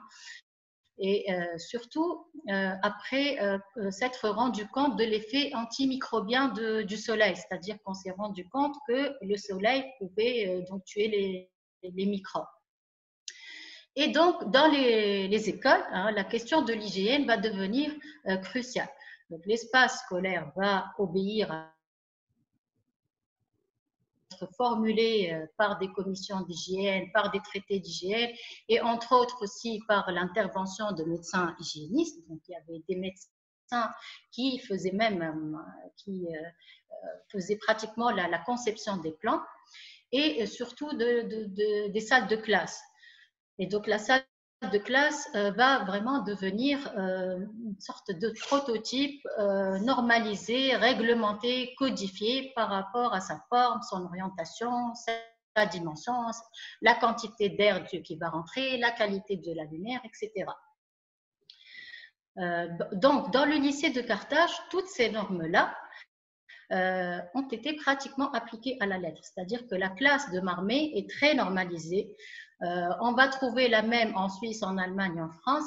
Euh, d'ailleurs, j'ai mis euh, deux diapos pour montrer un petit peu la, correspondance. Donc, cette diapo, c'est la classe normalisée, disons, universelle. Et là, c'est la classe telle que conçue par Marmé. Bon, on n'a pas le temps de, tout développer, mais je voulais montrer cette correspondance. Oui, oui. D'accord. Euh, et donc, la, force de Marmé, c'est qu'il a su donc adapter ce modèle euh, normalisé et universel au contexte du site et euh, au contexte de, régional. Donc, il a su adapter justement le global au local. Bon, donc voilà, il y a toute. D'accord, ça marche. Donc, la dernière diapo, mais c'est la dernière. La dernière. Euh, donc il y, a, il y a encore euh, donc, euh, plein d'autres dispositions hein, par rapport à l'hygiénisme. par exemple, par rapport à, la circulation, maintenant, toutes les ouvertures sont à l'air libre dans le lycée de Carthage. Et puis, donc les, les, les, élèves vont circuler à l'air libre. Et puis, il y a cette notion de liberté qu'on retrouve. D'ailleurs, euh, quand on regarde cette photo, de toute façon on le sait, Marmé ne voulait pas faire de clôture dans le lycée. Il avait conçu son lycée de telle manière à ce qu'il n'y ait pas de clôture. Il a prévu une rampe euh, sur le côté et les élèves venaient euh, avec leur vélo, ils rentraient dans la passerelle, il y avait un parking à vélo et ils étaient dans le lycée. Aujourd'hui, quand on regarde les conceptions des, des, écoles, par exemple scandinaves, en Finlande, il est tout à fait dépassé de faire des, des, des, clôtures dans les écoles. Donc, euh, au contraire, l'école est amenée à euh, s'ouvrir sur l'environnement extérieur, sur, le, sur la, vie communautaire, etc. Et donc, euh, aujourd'hui, je pense qu'il est nécessaire aussi de réfléchir à ce type d'alternative pour nos écoles, donc peut-être à travers des espaces partagés. B, donc pour conclure, alors, pour moi, euh, le lycée de Carthage reste, euh, à mon sens, un euh, bâtiment exceptionnel et surtout très actuel, peut-être même plus actuel que certains lycées qui se font aujourd'hui. bien sûr, je ne parle pas du lycée Caillou. Donc, au lieu de regarder ce qui se fait à l'étranger, on a toujours tendance à aller voir ce qui se passe ailleurs, d'abord par regarder ce qu'il y a ici, ce qu'il y a chez nous, notre architecture, notre patrimoine, euh, ce qui fait notre identité et ce qui peut euh, constituer une, euh, une leçon d'architecture pour, pour nous, les architectes, et pour les futurs architectes. Et donc, je pense que le lycée de, de Carthage est un maillon très important dans l'histoire de l'évolution des équipements scolaires en Tunisie et peut-être même, donc on l'a vu dans le monde. Donc pour les lycéens euh, qui ne connaissent peut-être pas euh, toute son histoire. Bon, J'espère que cette initiative leur euh, va leur permettre d'en savoir un peu plus sur leur lycée, sur un lieu qu'ils fréquentent tous les jours. Bon, malheureusement, là, ils ne le fréquentent pas parce que tout est fermé, mais l'année prochaine, ils vont recommencer à le fréquenter. Et donc, ça leur permettra euh, d'apprécier sa valeur, euh, de se l'approprier, d'en être fier. Et en tout cas, c'est comme ça, moi, que j'ai vu cette initiative de, de Banya justement. Si je, peux terminer par rapport juste à l'architecte Marmé. Voilà, Marmé, euh, je pense que c'est un architecte, c'est un architecte emblématique de la production architecturale tunisienne. Euh, il a construit de très nombreux projets ici en Tunisie, notamment des, villas. Et je pense qu'on gagnerait à les répertorier, à les inventorier et pourquoi euh, pas à les classer. Mais on pourrait peut-être prévoir des, circuits marmés, je ne sais pas. Euh, Marmé, c'est un peu le, balagan tunisien, tunisien hein. c'est le, le, Alvar Alto de la Tunisie. C'est le régionalisme critique tunisien et donc je pense qu'on devrait euh, euh, prendre plus soin de sa, production. Et donc, je, voilà, je, profite pour lancer euh, cet appel pour sauver les, la production de, de En tout cas, pour la mettre en, lumière. Merci beaucoup, Alia. Euh, pour, pour cette présentation. Merci on, peut, on peut passer, si vous voulez. Euh, Nescol Majoudine, c'est bon. Euh, on peut passer, si vous voulez, au, débat. Euh, juste un, petit rappel et une petite introduction au débat. أنا في édifice et mémoire qui ما حابين ناخذوا le, le sujet هذا في مانيا وحكايه c'est vers un objectif bien déterminé. On a des architectes في mémoire, mais quoique c'est une approche vraiment multidisciplinaire une approche transversale du patrimoine لكن كنا قاعدين نشوفوا معناتها في les débats اللي غارقين فيهم مع nos collègues حبينا حاجتين un on rehausse le, débat on, on, les, on les fait intéresser à des choses qui, qui sont vraiment pertinentes et qui sont vraiment enrichissantes que ce soit les exemples que, vous avez tous euh, présentés, les chantiers que, vous avez présentés, mais surtout, c'est de souligner l'importance de l'approche multidisciplinaire dans l'œuvre architecturale et, les traces de ça dans le patrimoine. Les différentes présentations, il y a eu des coopérations avec des médecins, qui m'a le dernier exemple, avec des, des paysagistes, avec des ingénieurs,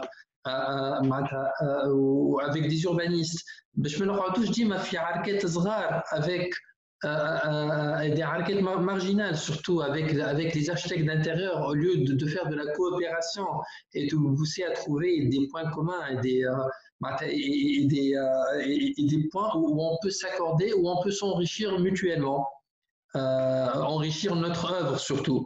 Donc, euh, euh, par exemple, la première présentation, euh, c'est celle, du lycée Carnot.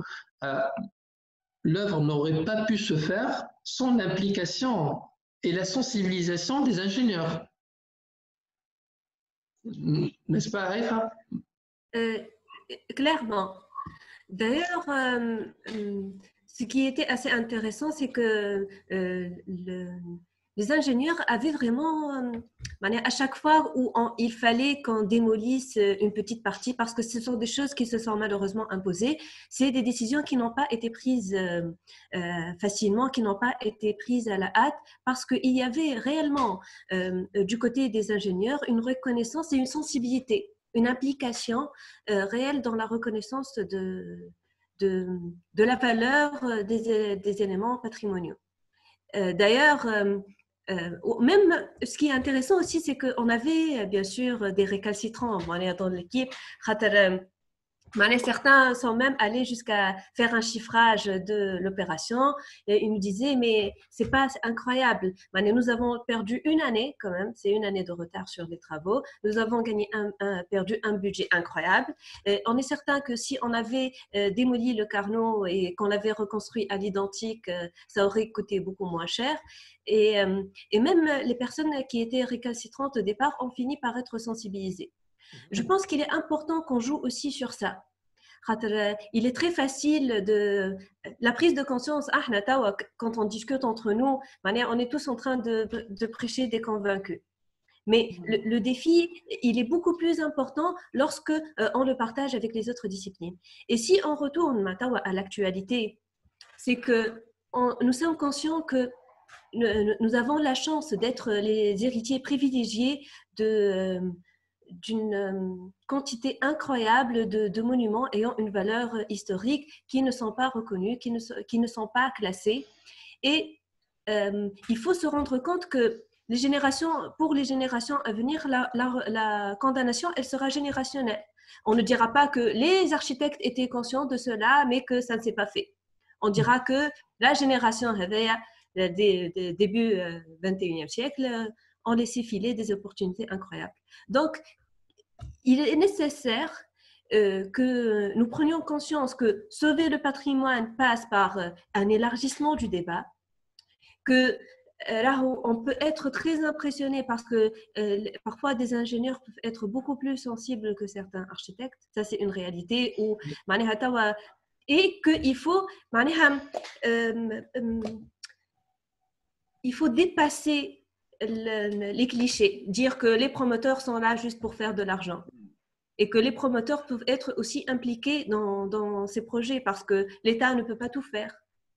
Oui, tu as tout à fait raison, euh, Haïfa, si vous permettez. En fait, ce n'est pas du tout une question de, profession. Je suis entièrement et je partage avec toi cet avis, euh, qu'on soit technicien ou pas, qu'on soit, qu'on soit homme de lettres euh, ou moins. je pense que c'est quand même une question fondamentale rattachée à la culture générale d'une nation.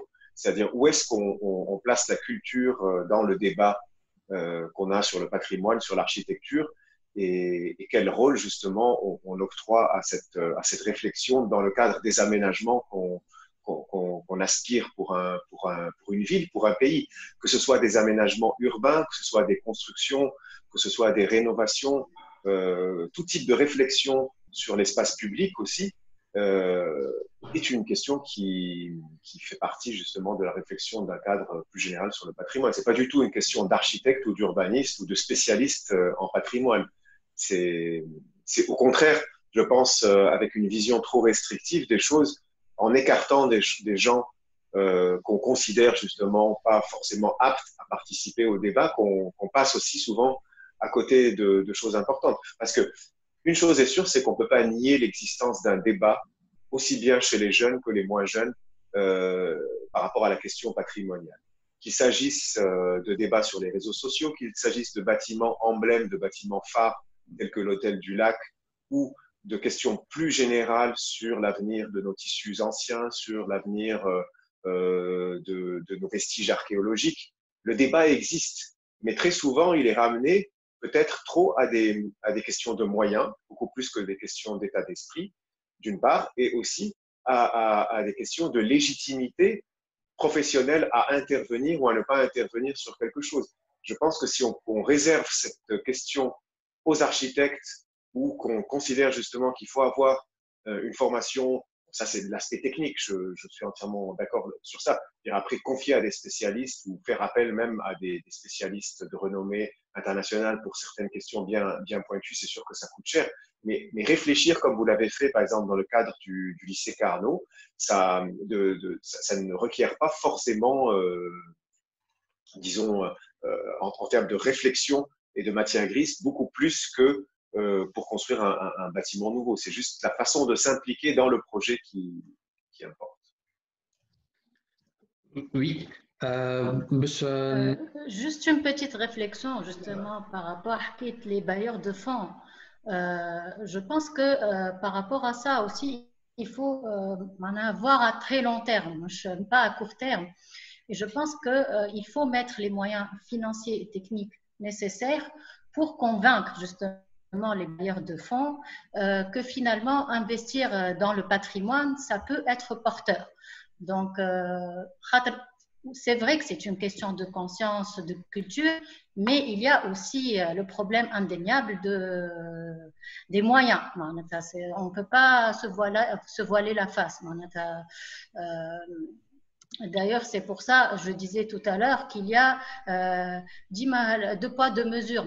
Quand on privatise des choses, euh, on peut euh, se permettre justement de ravaler, les, de ravaler les bâtiments, mais quand c'est quelque chose qui, qui a, je parle du lycée de Carnot, c'est le même bâtiment. Une partie, elle a été privatisée ou l'autre, elle est restée dans dans le domaine étatique, euh, on voit comment les choses se, se, passent pour les deux, euh, pour les deux, euh, pour le privé et pour, et pour le et pour le et pour le public. Donc voilà, montrer des projets qui, qui, qui, ou qu'on va investir dans le patrimoine, montrer que c'est des projets porteurs euh, qui marchent et qui fonctionnent et qui ont une grande plus-value, je pense que euh, ça peut aussi, rien ne vaut la démonstration finalement. Euh, ça peut convaincre les bailleurs de fonds à, investir et à prendre en considération donc des, des projets à valeur patrimoniale. Les mouches, voilà, justement, démolir pour reconstruire moins cher. Bien sûr. Et, surtout, euh, euh, le meilleur argument, c'est les success stories où elle a euh, mettre toute la lumière sur ces, ces, ces réussites-là. c'est le meilleur moyen de prouver aux gens que le patrimoine, c'est être rentable. Le, le, deuxième point à, soulever, c'est qui, qui, est très important. L'argumentaire en faveur du, du, du patrimoine, c'est que euh, des solutions existent. Euh, le patrimoine n'est pas nécessairement un musée. On l'a vu dans, les deux exemples de, de chantier qu'on a vus. Euh, par exemple, le patrimoine était avant tout paysager. c'était avant tout l'ambiance, c'était le, plan masse, c'était l'organisation en général. Et, le, premier projet qui est celui de la, rue de Paris, euh, le lycée Carnot, le patrimoine, c'était euh, le, rapport euh, ciel-terre par rapport à la, rue de Paris, c'était l'encombrement, c'était des, des, détails par rapport aux ouvertures, par rapport aux descentes d'eau pluviale. ce n'est pas une vision conservatrice du patrimoine, euh, il est possible, c'est très important même par, par, rapport à la relation euh, avec les promoteurs immobiliers qu'on doit convaincre et ne pas mettre au, carreau. On ne doit pas diaboliser les gens, mais les ramener vers, euh, vers, nous pour les convaincre de l'importance du patrimoine et en faire, et en, en faire des complices dans le projet de préservation. Alors, c'est un état d'esprit en général, hein, si vous permettez, Haïfa. Je sais que ça, ça, te concerne directement, mais tu me diras si je me, si je me trompe. Euh, je pense que la partie administrative d'un projet, c'est-à-dire la maîtrise d'ouvrage, a un rôle euh, fondamental dans ce type de, de dialogue. C'est-à-dire que le client, on peut l'appeler comme ça, que ce soit dans le secteur public ou dans le secteur privé, euh, c'est finalement lui qui va, qui va permettre aux gens de se rencontrer. C'est lui qui permet à un architecte de rencontrer un ingénieur, ensuite euh, à une maîtrise d'œuvre de rencontrer une entreprise. Donc, il, joue ce rôle euh, de facilitateur et il joue ce rôle euh, d'intermédiaire de, aussi par rapport à l'œuvre finale. Donc, c'est vrai qu'on l'appelle maître d'ouvrage, mais quelque part aussi, il participe à la genèse de l'œuvre par son état d'esprit, par la dynamique qu'il va être capable d'instaurer ou de, ne pas instaurer. Alors là, Emile, tu mets vraiment, selon moi, le, le, doigt sur le point essentiel de la question euh, de ce type de rapport aujourd'hui par rapport à, à, à, notre contexte tunisien. Parce que la, la, particularité des deux exemples présentés, aussi bien Carnot que Gustave Flaubert, comme leur nom l'indique, ce sont des exemples qui sont étrangers. Ils restent, ils restent tunisiens dans leur contexte, ils restent tunisiens dans leur maîtrise d'œuvre, enfin, disons, mixte en termes de maîtrise d'œuvre, mais ce sont malheureusement des exemples qui sont euh, entièrement euh, étrangers en termes d'administration. Mm. Aujourd'hui, dans le contexte tunisien, c'est très rare d'avoir une administration qui est sensible euh, à ce type de rapport. C'est-à-dire que déjà, en, question, en, en, en termes de, de, de, collaboration, tout simple, à part la question patrimoniale qui est encore quelque chose qui vient se greffer là-dessus, les rapports qu'entretiennent les différents intervenants dans l'acte de, de, bâtir, que ce soit sur la partie études, que ce soit sur la partie administrative, octroi de permis de construire, que ce soit sur la partie gestion de chantier, euh, il y, a, y, a, y, a, malheureusement un, un, creux, un, un, creux énorme, un fossé qui s'installe entre les différents intervenants. Je, je pense que l'administration aujourd'hui en Tunisie n'est pas du tout consciente du fait que travailler euh, dans le domaine de l'architecture, de l'ingénierie et, et, encore plus quand il y a des questions sensibles comme le patrimoine qui viennent se rajouter, et, et quelque chose qui nécessite vraiment euh, une, une, concertation mutuelle, une bonne entente, une ambiance, disons-le tout simplement, de travail où les gens sont conscients qu'ils travaillent pour un objectif euh, commun. Ils ne sont pas les uns contre les autres, ils sont les uns avec les autres. Je me permets d'utiliser des termes peut-être un petit peu un, un petit peu crus, mais c'est malheureusement une expérience aujourd'hui qui a tendance à se généraliser. On parlait tout à l'heure des jeunes architectes, de leur rapport avec, euh, avec la commande privée ou publique, du, du, du, du grand mal-être qui existe au sein de la, de la profession jeunes et moins jeunes. Euh, c'est aussi dû au fait que euh, les différentes structures administratives de notre pays qui permettent la genèse d'un projet d'architecture sont complètement en panne que ce soit dans les régions, que ce soit au niveau de l'administration centrale, que ce soit le rapport entre les ministères. Aujourd'hui, prenons un exemple très très simple. Si pour une question patrimoniale, une municipalité va s'adresser à l'INP pour un avis ou pour un conseil, ils, n'auront absolument aucune réponse. Il n'y a aucun dialogue interadministration, si ce n'est le dialogue de la, de la menace, si ce n'est le dialogue de la sourde oreille et aussi du protectionnisme, protectionnisme dans les deux sens. Je reçois un dossier pour un avis, j'essaie de m'en débarrasser le plus tôt possible en essayant de ne pas répondre, en essayant de laisser les choses en suspens. Finalement, tout le monde en paie les pots cassés, que ce soit la société civile, parce que finalement, comme le disait Haïfa tout à l'heure, et je te laisserai compléter un petit peu ce que je dis par des exemples peut-être plus concrets, mais euh, c'est surtout l'architecte aujourd'hui qui se retrouve euh, complètement pris dans une, dans une machine administrative où il n'arrive pas à, s'extraire, il n'arrive pas à, à, faire son vrai travail de maître d'œuvre.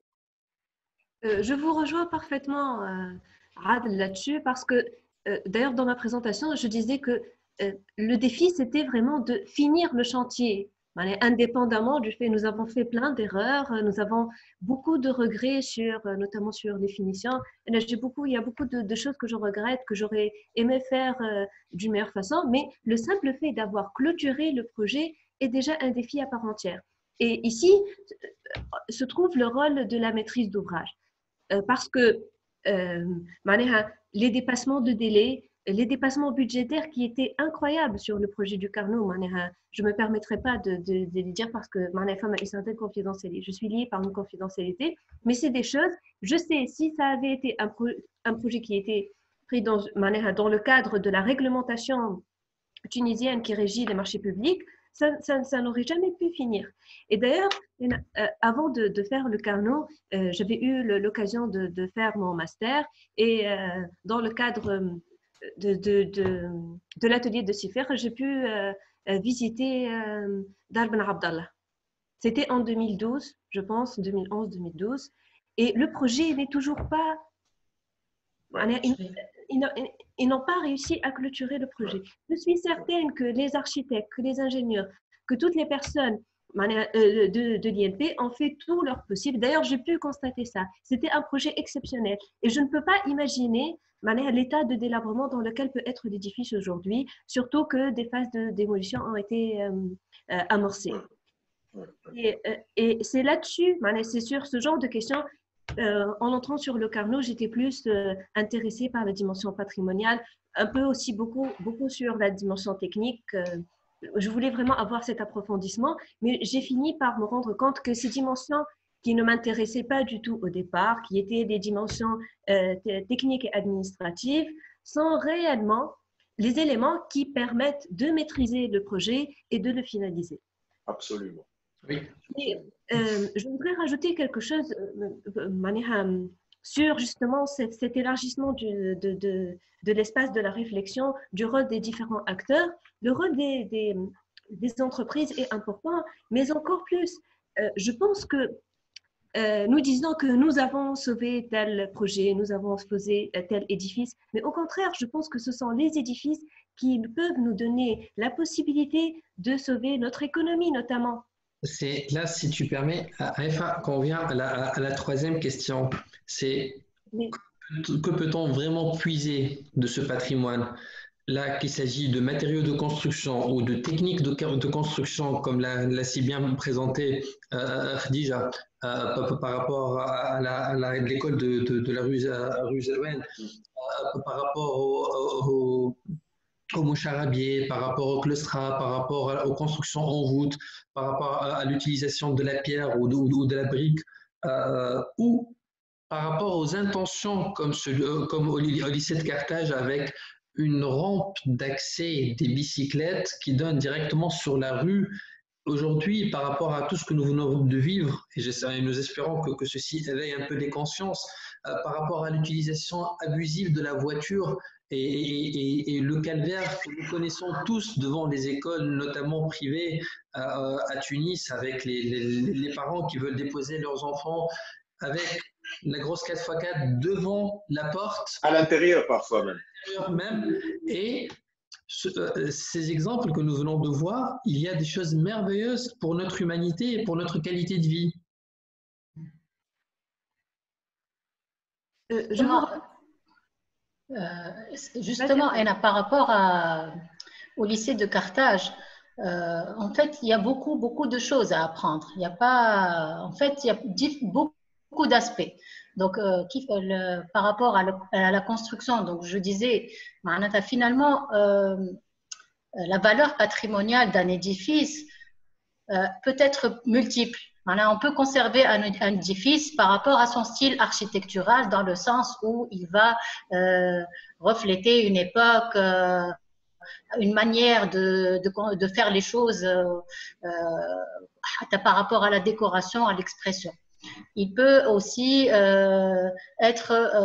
avoir cette portée pédagogique, je disais, par rapport au, aux étudiants, aux futurs architectes, aux architectes de manière générale, euh, ils peuvent venir donc voir euh, les matériaux de construction, les techniques de construction. Et je ne me suis pas euh, approfondie dans le, lycée de Carthage, mais il y a beaucoup, beaucoup de choses par rapport à la manière de construire de Marmé. Le mur en pierre, par exemple, c'est c'est une technique qu'il a ramenée euh, du Maroc euh, et qu'il a récupérée chez les maîtres maçons euh, quand il a fait son extension de la bibliothèque des Qarawiyyin à Fès. Donc, il y a vraiment toute une histoire dans chaque petit bout de, de parcelle du, de l'édifice. Et je ne prends que le lycée de Carthage.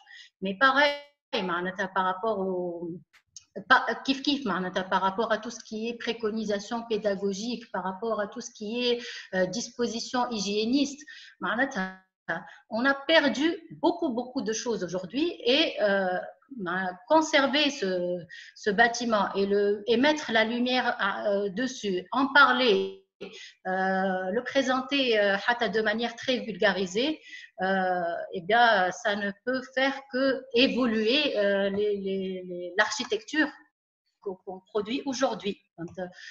Euh, kiff kiff donc par rapport à l'architecture de la reconstruction les, les, toutes les opérations c'était des quantités monstres que les architectes c'est des projets euh, des centaines de projets euh, qui tombent en ruine qui malheureusement c'est malheureux de fermer des établissements qui, en plus c'est des des des petits établissements, ça ne va pas coûter très cher euh, à l'État. Euh, on peut en faire beaucoup de choses en fait. Il faut juste euh, laisser les gens travailler, si, j'ose dire, ou ne pas justement avoir cette, cette manière de, de, s'octroyer les choses et de se dire on ne touche pas, on, non, c'est, il faut rien faire, ça appartient à l'État, alors que l'État, il est complètement dépassé. Donc, il faut. En fait, je, pense, je pense euh, Ali, pour rejoindre ce que tu dis, je pense qu'il ne faut pas avoir une seule politique euh, patrimoniale. Il faut avoir une, au contraire, cette capacité à avoir euh, une multiplicité de politiques patrimoniales en fonction du contexte.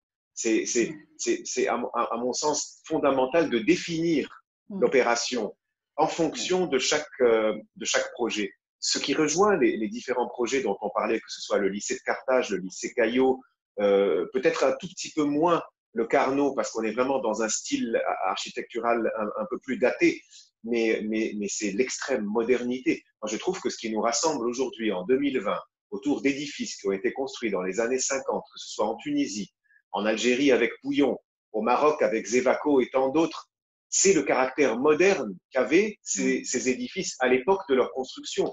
Le, le, lycée de Carthage, que je viens de voir en photo, c'est beaucoup d'émotions que de voir autant de modernité, autant de, de, simplicité en même temps par rapport à un langage architectural qui, qui est encore plus frais. On a l'impression de voir l'architecture de Zévaco, euh, ce régionalisme, mm. c'est très actuel. C'est vraiment fantastique. C'est presque un projet euh, qu'on pourrait construire aujourd'hui euh, si justement nous était donné la chance d'avoir un maître d'ouvrage qui a son temps aussi, parce qu'il y a la question de la durée. Hein. Ça, c'est quelque chose aussi qui nous accompagne aujourd'hui en tant que maître d'œuvre et aussi maître d'ouvrage. C'est qu'on veut tout faire très rapidement. On n'a plus le temps qu'on avait dans les années 50. Les, dépassements de budget, c'est quelque chose qui a toujours fait partie de l'histoire de l'architecture. Je pense que même les pyramides, quand elles ont été construites, il y a eu certainement un dépassement de budget et de délai. Je ne dis pas qu'il faut encourager les gens à le faire, mais je, pense que ça reste quand même une question secondaire. Donc, Haïfa, tu n'as pas de souci à, avoir par rapport à, ce projet dont tu parlais les dépassements, ça arrive partout. C'est vrai qu'il y a des moments où c'est plus difficile que d'autres, mais ça fait partie un petit peu de, de, l'histoire d'un projet d'architecture. Mais pour revenir à m'armer juste une, seconde, euh, Alia, euh, ce caractère moderne, cet, cet esprit d'intégration dans le lieu, c'est ce qui donne aujourd'hui tout l'intérêt à ce, à, à, ce projet. Donc, je pense que si on veut parler de, de, de patrimoine aujourd'hui, il faut aussi le lire et le réécrire s'il y a une réécriture, avec un esprit de modernité. Pourquoi est-ce que des bâtiments qui ont été construits à une époque où on voulait vraiment euh, transcender un petit peu le, les, schémas, classiques de l'époque, pourquoi est-ce que ces bâtiments, si on les revoit 70 euh, ou 80 ans plus tard, on doit, les, regarder différemment que dans ce contexte moderne euh, exceptionnel dans lequel ils ont été édifiés? C'est une question à laquelle je ne vais pas répondre. Je pense que ça fait partie des questions qu'on doit se poser quand on veut avoir un débat sain et serein sur le, la question patrimoniale. juste à l'école elle présente jusqu'à maintenant le souvenir de plusieurs habitants du quartier. Mais malheureusement, l'état de ruine qui présente, malgré qu'elle est construite en 1945, c'est-à-dire c'est pas très loin. Hmm. Oui. Euh, elle n'a pas fait 100 ans, même pas. Euh, l'école présente, on peut rénover ou bien réhabiliter ou bien réaménager l'école. c'est une petite école, c'est-à-dire le budget va être un peu restreint. Mais malheureusement, elle est en état totalement abandonné, délabré. Justement, le principal argumentaire pour sauver ce, ce, genre d'édifice, euh, c'est de dire qu'il y a des, leçons derrière, euh, notamment des leçons de modernité, comme le, disait si bien Adel, euh, et, et, dire qu'avant de prononcer un, arrêté de démolition ou de, ou de, de, de, prononcer, sans le dire, un, arrêté d'abandon, il faut, il faut, être, il faut avoir l'humilité de voir les leçons qu'il y a derrière. Aujourd'hui, euh, nous, savons tous que l'éducation nationale en Tunisie, elle est en souffrance, notamment en, matière d'infrastructure et, en matière de, conditions hygiéniques et de conditions de confort dans, dans lequel évolue le cadre, les cadres d'enseignement ou les élèves. Il y a une petite comparaison que, je voudrais faire avec une école qui a été construite à Zarzouna euh, par Jean Lecouter, il en est l'architecte euh, dans la cité euh, ouvrière de Zarzouna. Dans, la même période. Dans la même, période. Dans, dans, ce plan d'urbanisme fait par, par Zerfus, il y a une petite école avec à peine quatre salles de classe qui, qui pendant l'hiver, les salles de classe sont chauffées grâce à la cheminée qui existe dans le bureau du, directeur. Et il y a une petite galerie qui, euh, qui traverse l'enveloppe de ces quatre salles et qui diffuse la chaleur née dans cette cheminée-là. Donc, euh, peut-être qu'avant qu'un responsable décide de démolir ou d'abandonner, il devrait réfléchir à la leçon qu'il y a, y a dedans.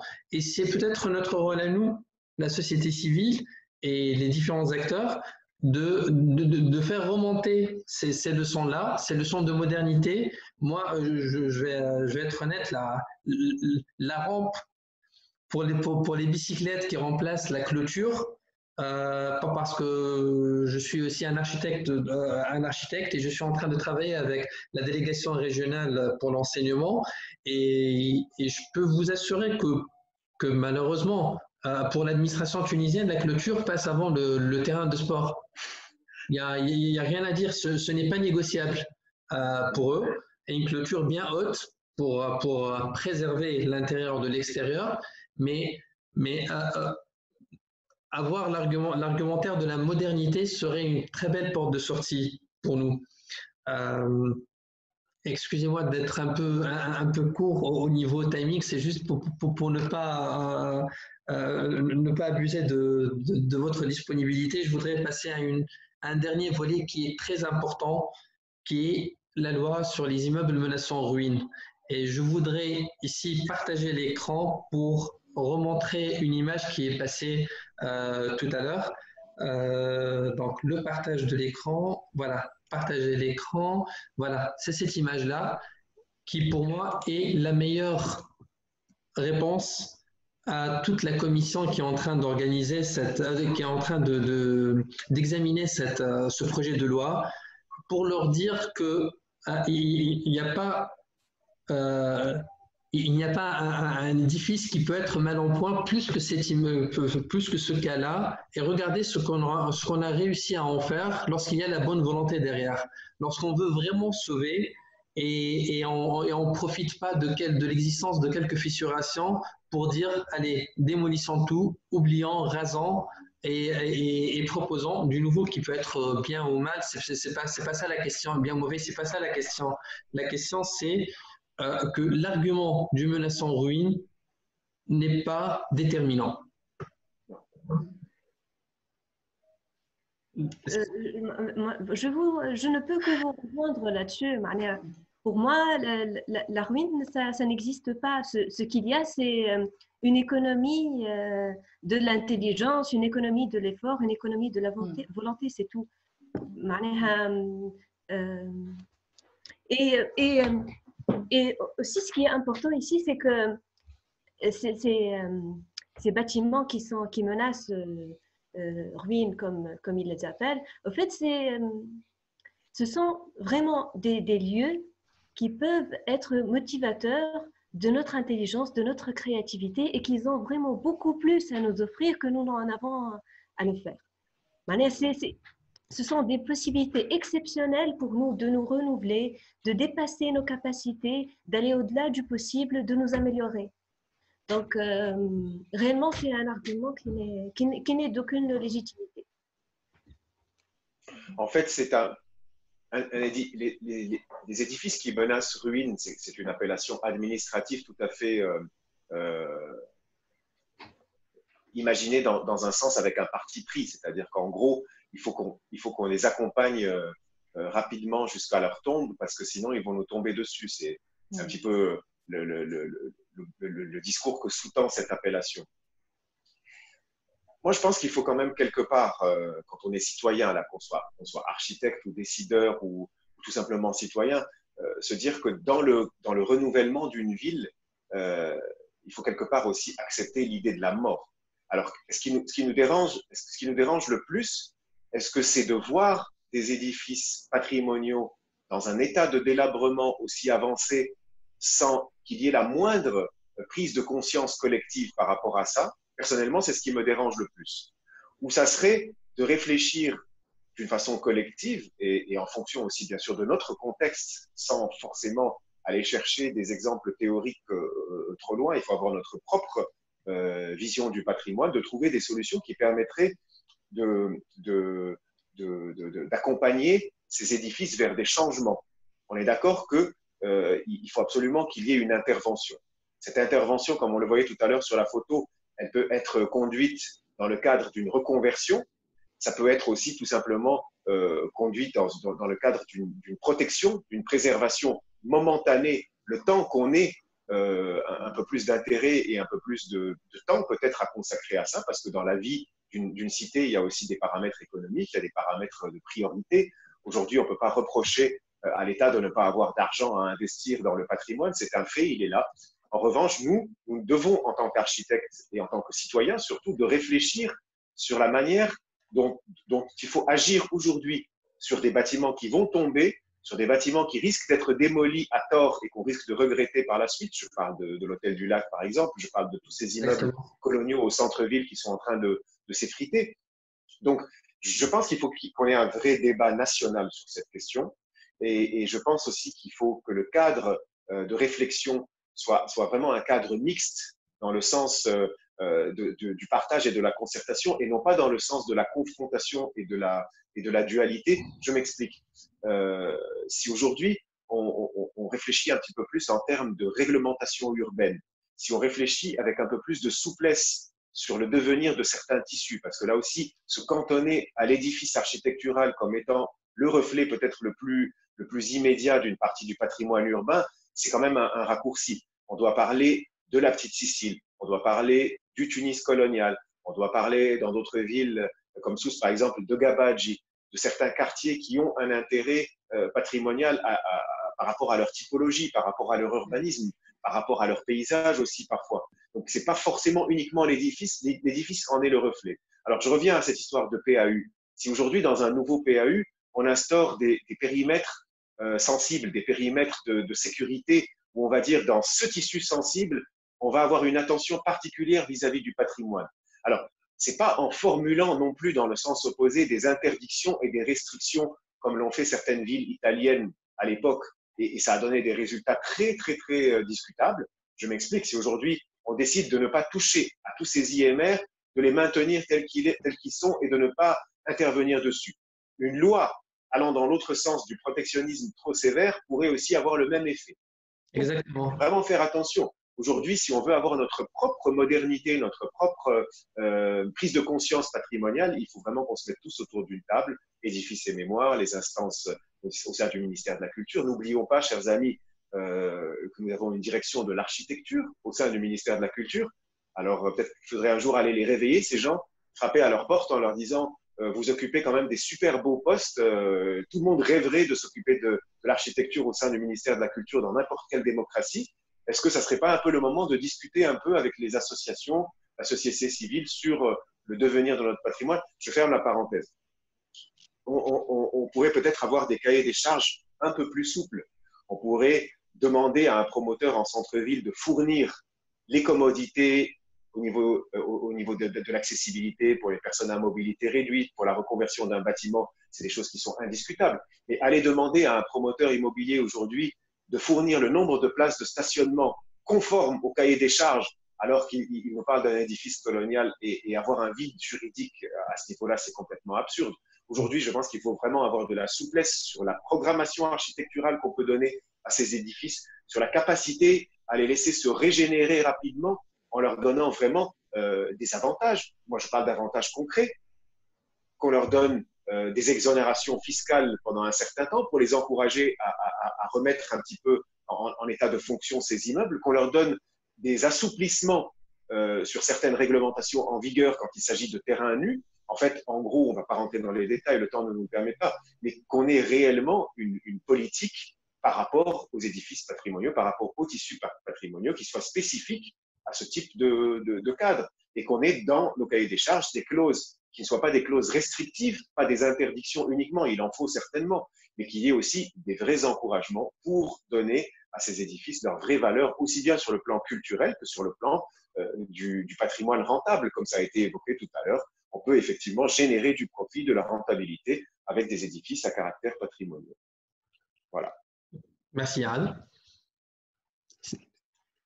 S'il y a quelqu'un qui veut prendre la parole Moi, je suis tout à fait d'accord avec ce qu'il dit. Je pense qu'il y a des choses, c'est très concret ce que, ce que dit Donc, euh, euh, on est tous unanimes par rapport à cette, en tout nous, les architectes, on est tous unanimes par rapport à cette loi et par rapport aux dérives de cette loi. Hein. Et donc voilà, il faut, il faut la réguler, il faut trouver un juste milieu il faut euh, justement avoir des, ne pas juste l'annuler, mais trouver euh, des, euh, des solutions très concrètes pour arrêter juste cette loi, ça ne va pas résoudre les choses. Elles vont tomber en ruine de toute façon par elles-mêmes. Donc, il faut absolument, euh, voilà, justement, à trouver des choses très concrètes. Donc, le ministère ça serait bien qu'il commence à rédiger des choses concrètes. Il faut les investir, euh, Alia. Il faut, je pense, moi, moi, moi, ça fait maintenant, euh, je vais fêter mes 20 ans de, de, carrière en Tunisie, là, en juin. Le temps passe vite, je suis arrivé en 2000. Mm. Et, et, et, donc, je n'ai plus envie d'attendre. Pour les 20 prochaines années, Inch'Allah, si la force me le permet encore, je, je pense qu'il faut aller frapper gentiment aux portes des ministères parce que je ne pense pas que c'est eux qui viendront vers la société civile. Il faut leur rappeler un mm. petit peu leur rôle et, et, les faire descendre un peu de leur nuage et, surtout leur faire assumer leurs responsabilités. Je suis désolé, je reviens sur ça. Et quand on a une direction de l'architecture au sein du ministère de la Culture et qu'on n'a pas un porte-parole officiel qui vient, normalement, on aurait dû avoir parmi les invités dans un débat comme celui d'aujourd'hui un représentant officiel du ministère de la Culture. Il y, a, des postes qui sont occupés. Alors, soit on, se met au travail, et, et c'est pas méchant ce que je dis, et je ne vise personne, je ne sais même pas qui occupe ce poste, soit on se met au travail, soit on, laisse d'autres personnes. regardez, on a des doctorants, on a, on a, on a des, des, compétences euh, en patrimoine, en patrimoine qui, qui seraient ravis de faire participer un petit peu le, ministère au débat sur, euh, sur, le, sur les édifices coloniaux, sur, l'archéologie. L'archéologie, on, en a tellement parlé. C'est vrai que c'est un sujet qui fait plus partie de la, disons, de, l'histoire et des musées. Peut-être qu'il, là aussi, j'ai vu, quand j'étais prof, beaucoup, beaucoup de mémoires très intéressants qui visent des sites culturels, qui visent une autre politique culturelle, la disons, l'intervention sur des sites archéologiques c'est pas uniquement dans, l'objectif d'en faire des musées. On peut aussi faire des parcours culturels très intéressants. On peut avoir plusieurs disciplines qui se mélangent. Enfin, moi, je dis vraiment, soyons modernes. Aujourd'hui, il faut pas oublier que si on parle de patrimoine, si on parle d'architecture euh, patrimoniale, si on oublie qu'on est avant tout architecte, qu'on est avant tout urbaniste et qu'on est avant tout aussi décideur quand on a cette possibilité de faire des lois, de les faire voter, il faut être moderne dans les prochaines lois qu'on va faire voter. Il faut aussi avoir peut-être des exemples pilotes. On n'est pas obligé de généraliser une loi sans vérifier d'abord son impact sur certains projets. Essayons, par exemple, à Tunis, euh, Emin, ça, édifice et mémoire, je pense, est très très bien placé pour le proposer. Et d'après les sources que j'ai, c'est quelque chose qui est plus ou moins euh, il y a, l'intention de le faire, de, de, travailler sur certains projets pilotes et d'essayer de voir sur le plan administratif comment est-ce qu'on peut les conduire le mieux possible. Juste, je ne veux pas monopoliser la parole, mais je reviens sur une question fondamentale. Tant que nous n'aurons pas une administration, euh, et je parle de l'administration en général, et je m'excuse si je reviens sur cette question parce que c'est vraiment le problème majeur ces dernières années et on va le ressentir encore plus si on n'a pas une administration qui s'implique du côté, et là je parle de notre sujet, du côté des concepteurs, du côté des architectes, dans un esprit global pour arriver vers un projet et qu'on reste comme ça dans un esprit de confrontation, comme si on avait un mur en face de nous, on ne pourra jamais avancer. C'est justement, on ne pourra rien faire dans ce pays sans l'administration. Et comme, comme euh, vous le disiez, c'est à nous d'aller chercher nos, collègues dans l'administration, il, il, y a sûrement des gens formidables qui, qui, ne cherchent qu'à bouger. Et c'est à nous de, leur offrir ces, partenariats. Euh, ça, nous y croyons. Et par rapport à, la loi IMR, la position d'édifice et mémoire a, a, toujours été de, d'essayer d'encadrer cette loi, de l'orienter vers la préservation du patrimoine tout en encourageant l'investissement dans le patrimoine parce que nos centres, nos centres-villes ont besoin euh, d'être euh, d'être euh, revitalisés, d'être rénovés, c'est-à-dire qu'il y, a, lieu d'encourager l'investissement, mais de l'encadrer, limiter les auteurs d'une manière généralisée et abstraite n'a aucun sens. Il faut, stimuler l'investissement, dire aux gens que ça peut être rentable, mais rentable intelligemment. C'est la position euh, que, que, nous avons avec l'ordre des architectes, avec aussi l'École nationale d'architecture et d'urbanisme, et avec un nombre d'associations de, la société. Avec les écoles, si tu permets, Amine. Ça aussi, j'ai décidé de ne plus me taire sur ce sujet. On n'a pas qu'une seule école d'architecture en Tunisie. Il faut on chercher a, des on, a, beaucoup d'écoles qui sont justement des écoles issues de notre, de notre grande sœur qui est l'ENO, ça on ne va pas le nier, mais euh, c'est aussi euh, en, collaborant, en collaborant entre les différentes écoles, en ayant une présence régionale, c'est très très important. Il faut que Édifice et Mémoire ait des antennes régionales. Il faut aussi que les écoles d'architecture soient, soient, soient, travaillent de concert par rapport à des questions aussi importantes. On pourra un jour avoir un master spécialisé en patrimoine dans une école d'architecture à Sfax ou à Gabès. Et des gens de Tunis viendront assister à ce master en patrimoine. Il faut vraiment que ce, ce, dialogue entre les régions en Tunisie soit instauré grâce à cette plateforme fondamentale que nous avons, qui est l'enseignement supérieur. Nous allons être dans les prochaines années euh, une sorte de hub de l'enseignement euh, en Afrique du Nord, que ce soit en langue française ou dans d'autres langues. Et ça, c'est vraiment un avantage que nous avons, c'est-à-dire que sur le plan académique, sur le plan universitaire, nous sommes vraiment prêts. C'est-à-dire que les voiles sont prêtes, il faut juste attendre que le vent se lève, mais la Tunisie va, elle a toujours été, être euh, sur le plan euh, intellectuel et sur le plan universitaire une, plateforme très importante. Et ça, je vois vraiment que du positif là-dedans. Et euh, ça m'énerve quand on dit l'école nationale d'architecture, parce que on a tendance un petit peu à faire la, sourde oreille, et c'est un débat qui, doit, il faut vraiment un jour crever l'abcès. C'est-à-dire que les écoles doivent absolument, là aussi, se mettre autour d'une table et travailler dans un esprit de la formation de l'architecture en Tunisie en général. Que ce soit dans le secteur privé ou dans le secteur public, c'est un débat qu'on peut toujours avoir et ce n'est pas l'objet de la discussion aujourd'hui. Mais ça montre aussi à quel point l'administration tunisienne nous a enfermés dans des schémas de réflexion. Parfois, on a du mal à s'en sortir. J'ai été aussi prof à l'école d'architecture et j'ai jamais enseigné jusqu'à présent dans une école privée, hein, je tiens à le dire. Mais quand je vois mes collègues de l'ENO euh, tourner le dos complètement à l'enseignement privé en apparence, alors qu'ils ont très souvent euh, un pied ou une jambe euh, à l'extérieur, voire même dans une autre école, je pense qu'il faut arrêter avec ça. Oui, pour, pour, pour, la préservation du patrimoine, nous avons besoin de tous les alliés, euh, nous sommes tous acteurs dans, la, création de ce paysage euh, que, nous sommes en train de, façonner. Donc, euh, nous avons besoin de tous et il n'y a, a, pas à, discuter là-dessus, ça c'est sûr, on est tous d'accord. moi, je voudrais tous vous remercier au nom d'Édifice et Mémoire de nous avoir accordé deux à trois heures de votre, de, votre journée. Euh, j'espère que, que ça a été enrichissant pour euh, tout le monde. Merci, à vous. Ça a Merci été à tous. Plaisir. Merci comme ça, c'était très enrichissant. C'est un plaisir. Merci Ajma. Au revoir. Au revoir.